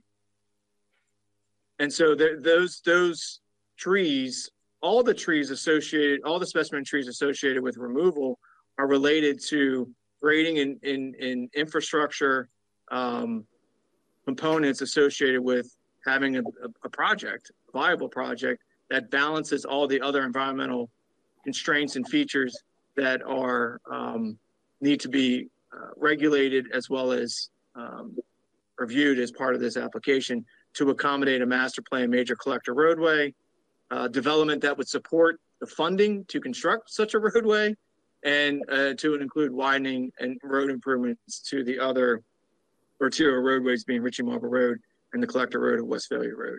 So it, it, it's a balancing act on this one, Commissioner Geraldo. I, I don't know if that answers my question. I don't know. Maybe, Mr. Chair, it answers the question for him. I'm, I, I'm looking at it. I, Your- question was the, the trees within, in the PMA area. in that So northern, Yeah, so those are related to infrastructure improvements necessary to accommodate whether it's um, water and sewer or road improvements, and those are on the outs, on the periphery of the PMA. okay. Okay, Mr. Since we- since we've got you on audio, um, so I, I think you're taking out forty specimen trees. How many are you replanting? Because I don't think that you said that. You said you're gonna replant a bunch along the, the roadways in different areas. Do you know offhand though, like how many other trees are, you're gonna be planting in the, in the area? So, um, based upon the tree, again, this will be further evaluated at the time of TCP two and the specific design plan, but based upon the, the TCP one, we are providing twelve point four two acres of reforestation. So we're, so the, the site is made up of 20, 26% of the site is PMA, again, being retained and preserved. Additional twelve point four two acres is on-site reforestation. I don't have the number of how many trees that equates to as far as how many are being planted, but at the time of specific design plan and TCP, TCP two, we can have that number. Unless one of my consultants have it. We don't have it. But it's over twelve acres of reforestation on site. Gotcha. Okay. Uh, Thank you, Mr. Tedesco. Uh, So back to deliberation amongst us. So you, you know where I am with this, which is just, uh, given all the moving parts on this, my inclination, where I'm landing is my inclination is to go ahead and support staff's recommendation. Well, Mr. Chair, Um, go ahead. Madam I'm Vice sorry, Vice Chair. Yeah, I've also I've also listened and and very sympathetic to uh, uh, the the saving of this this one tree. But on the other hand, I just lost a tree in my community, one that was not on my property, but one that I took as my own tree. It was my tree, really. It's been there forever. And uh, when my neighbor decided that it was time for the tree to be removed for a variety of issues for the safety of her property, you know, I, I really was a little bit upset. But every day now, when I go out and I see this tree, I'm thinking, you know, she made the right decision for her property, not for me, but for her property. And so I have to give that to some consideration as I deliberate on this one today. What is what is what is best for uh, this particular uh, uh, uh item that we have before us, and and being sympathetic to uh, neighbors and others who would like to see probably a tree that's already gone. And that's what my neighbor said to me. You know, this tree was dying. It, it's not going to be there forever. Uh, you were probably outlived the tree, and then boy, that was a shocker. But uh, yeah, so we have to kind of consider sometimes what's best for the landowner and best for the total community. And, and I do sympathize and understand the desire to have a tree that you like and that's comforting to you and that you admire because I just lost a tree in my neighborhood and I understand what that means. But I also think I will, I'm leaning towards supporting staff recommendations because the staff, that's, those are my experts that I have to depend on.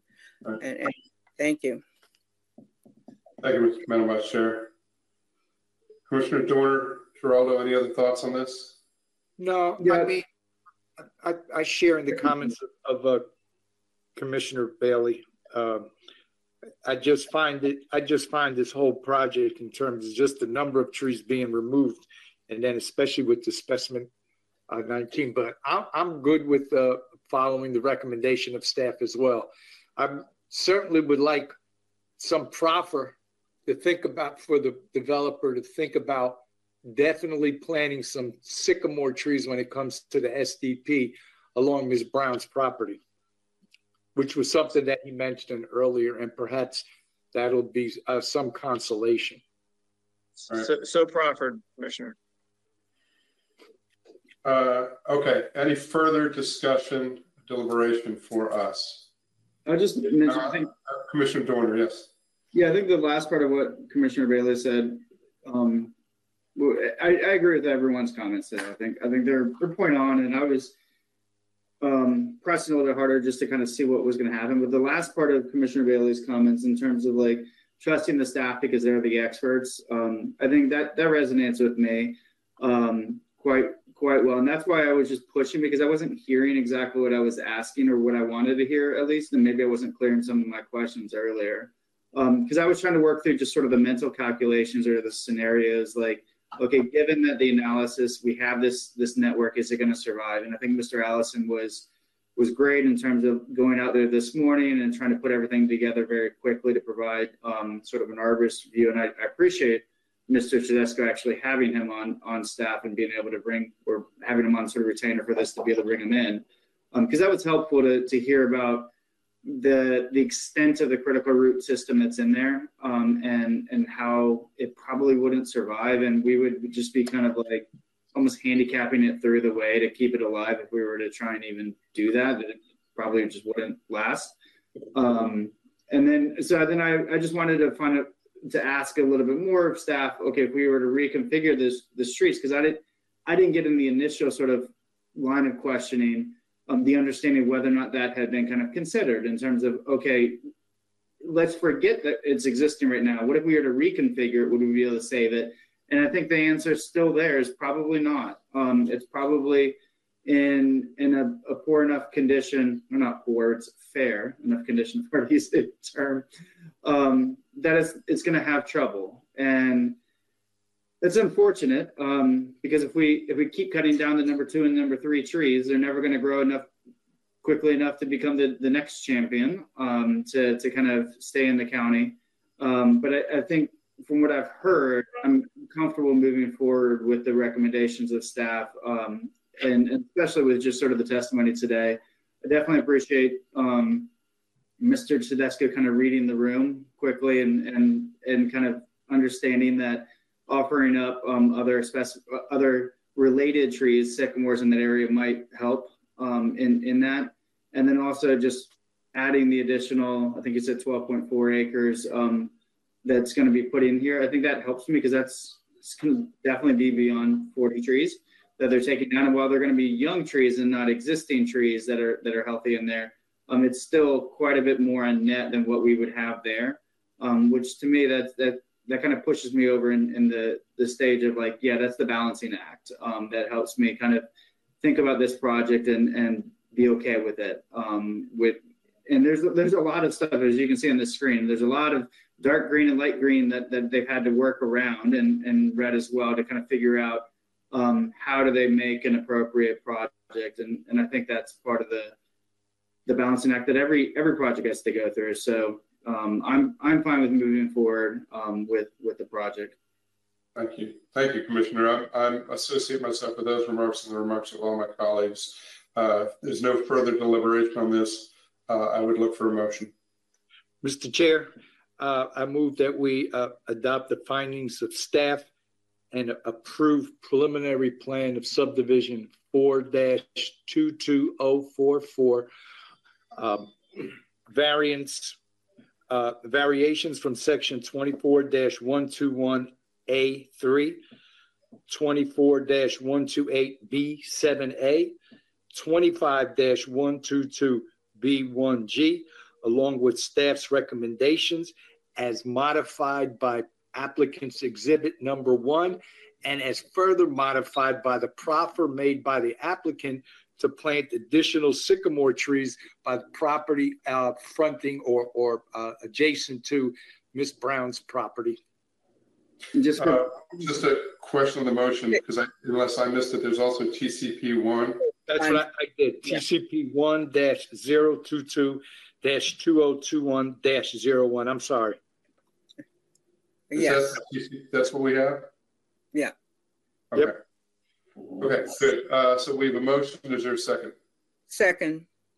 Motion is second. Under discussion. Let me just make sure, Mr. Heath, Mr. Hunt, the motion is uh, captures everything we need to do. Yes, Mr. Chair. Uh, Antoine Heath for the record. That did capture everything. Okay, and I apologize, Commissioner Geraldo, but none of us are Commissioner Washington, so I need to double check. No, that's fine. so true. So we have a motion by Commissioner Geraldo, second by Vice Chair Bailey. Any further discussion on the motion? Just on discussion, I wasn't sure by the omission if he was intentionally trying to keep the TCP out to save all of those trees, or if that was just an honest mistake. He's sneaky. yeah, I wasn't sure which way it was going. I had marked it. so with that, uh, if there's no further discussion, I'll call the roll. Commissioner Geraldo. I vote aye. Vice Chair Bailey. Vote aye. Commissioner Doerner. Vote aye. I vote aye as well. The ayes have it 4-0. Thanks, everybody. Thanks, Ms. Brown. Uh, thanks to the applicant and the team. Thanks to Mr. Heath. Uh, Ms. Shoulars, everybody. Thanks for staff for all the work that you've done on this uh, this case. And uh, with that, uh, I don't think we have any other further business before us. Mr. Hunt, does that conclude? Yes, Mr. Chairman, that concludes planning board uh, the planning board's agenda for today. Thank you. Okay, then without objection, folks, we are adjourned. Everybody, Thank have a good you. day. Thank you. No objection.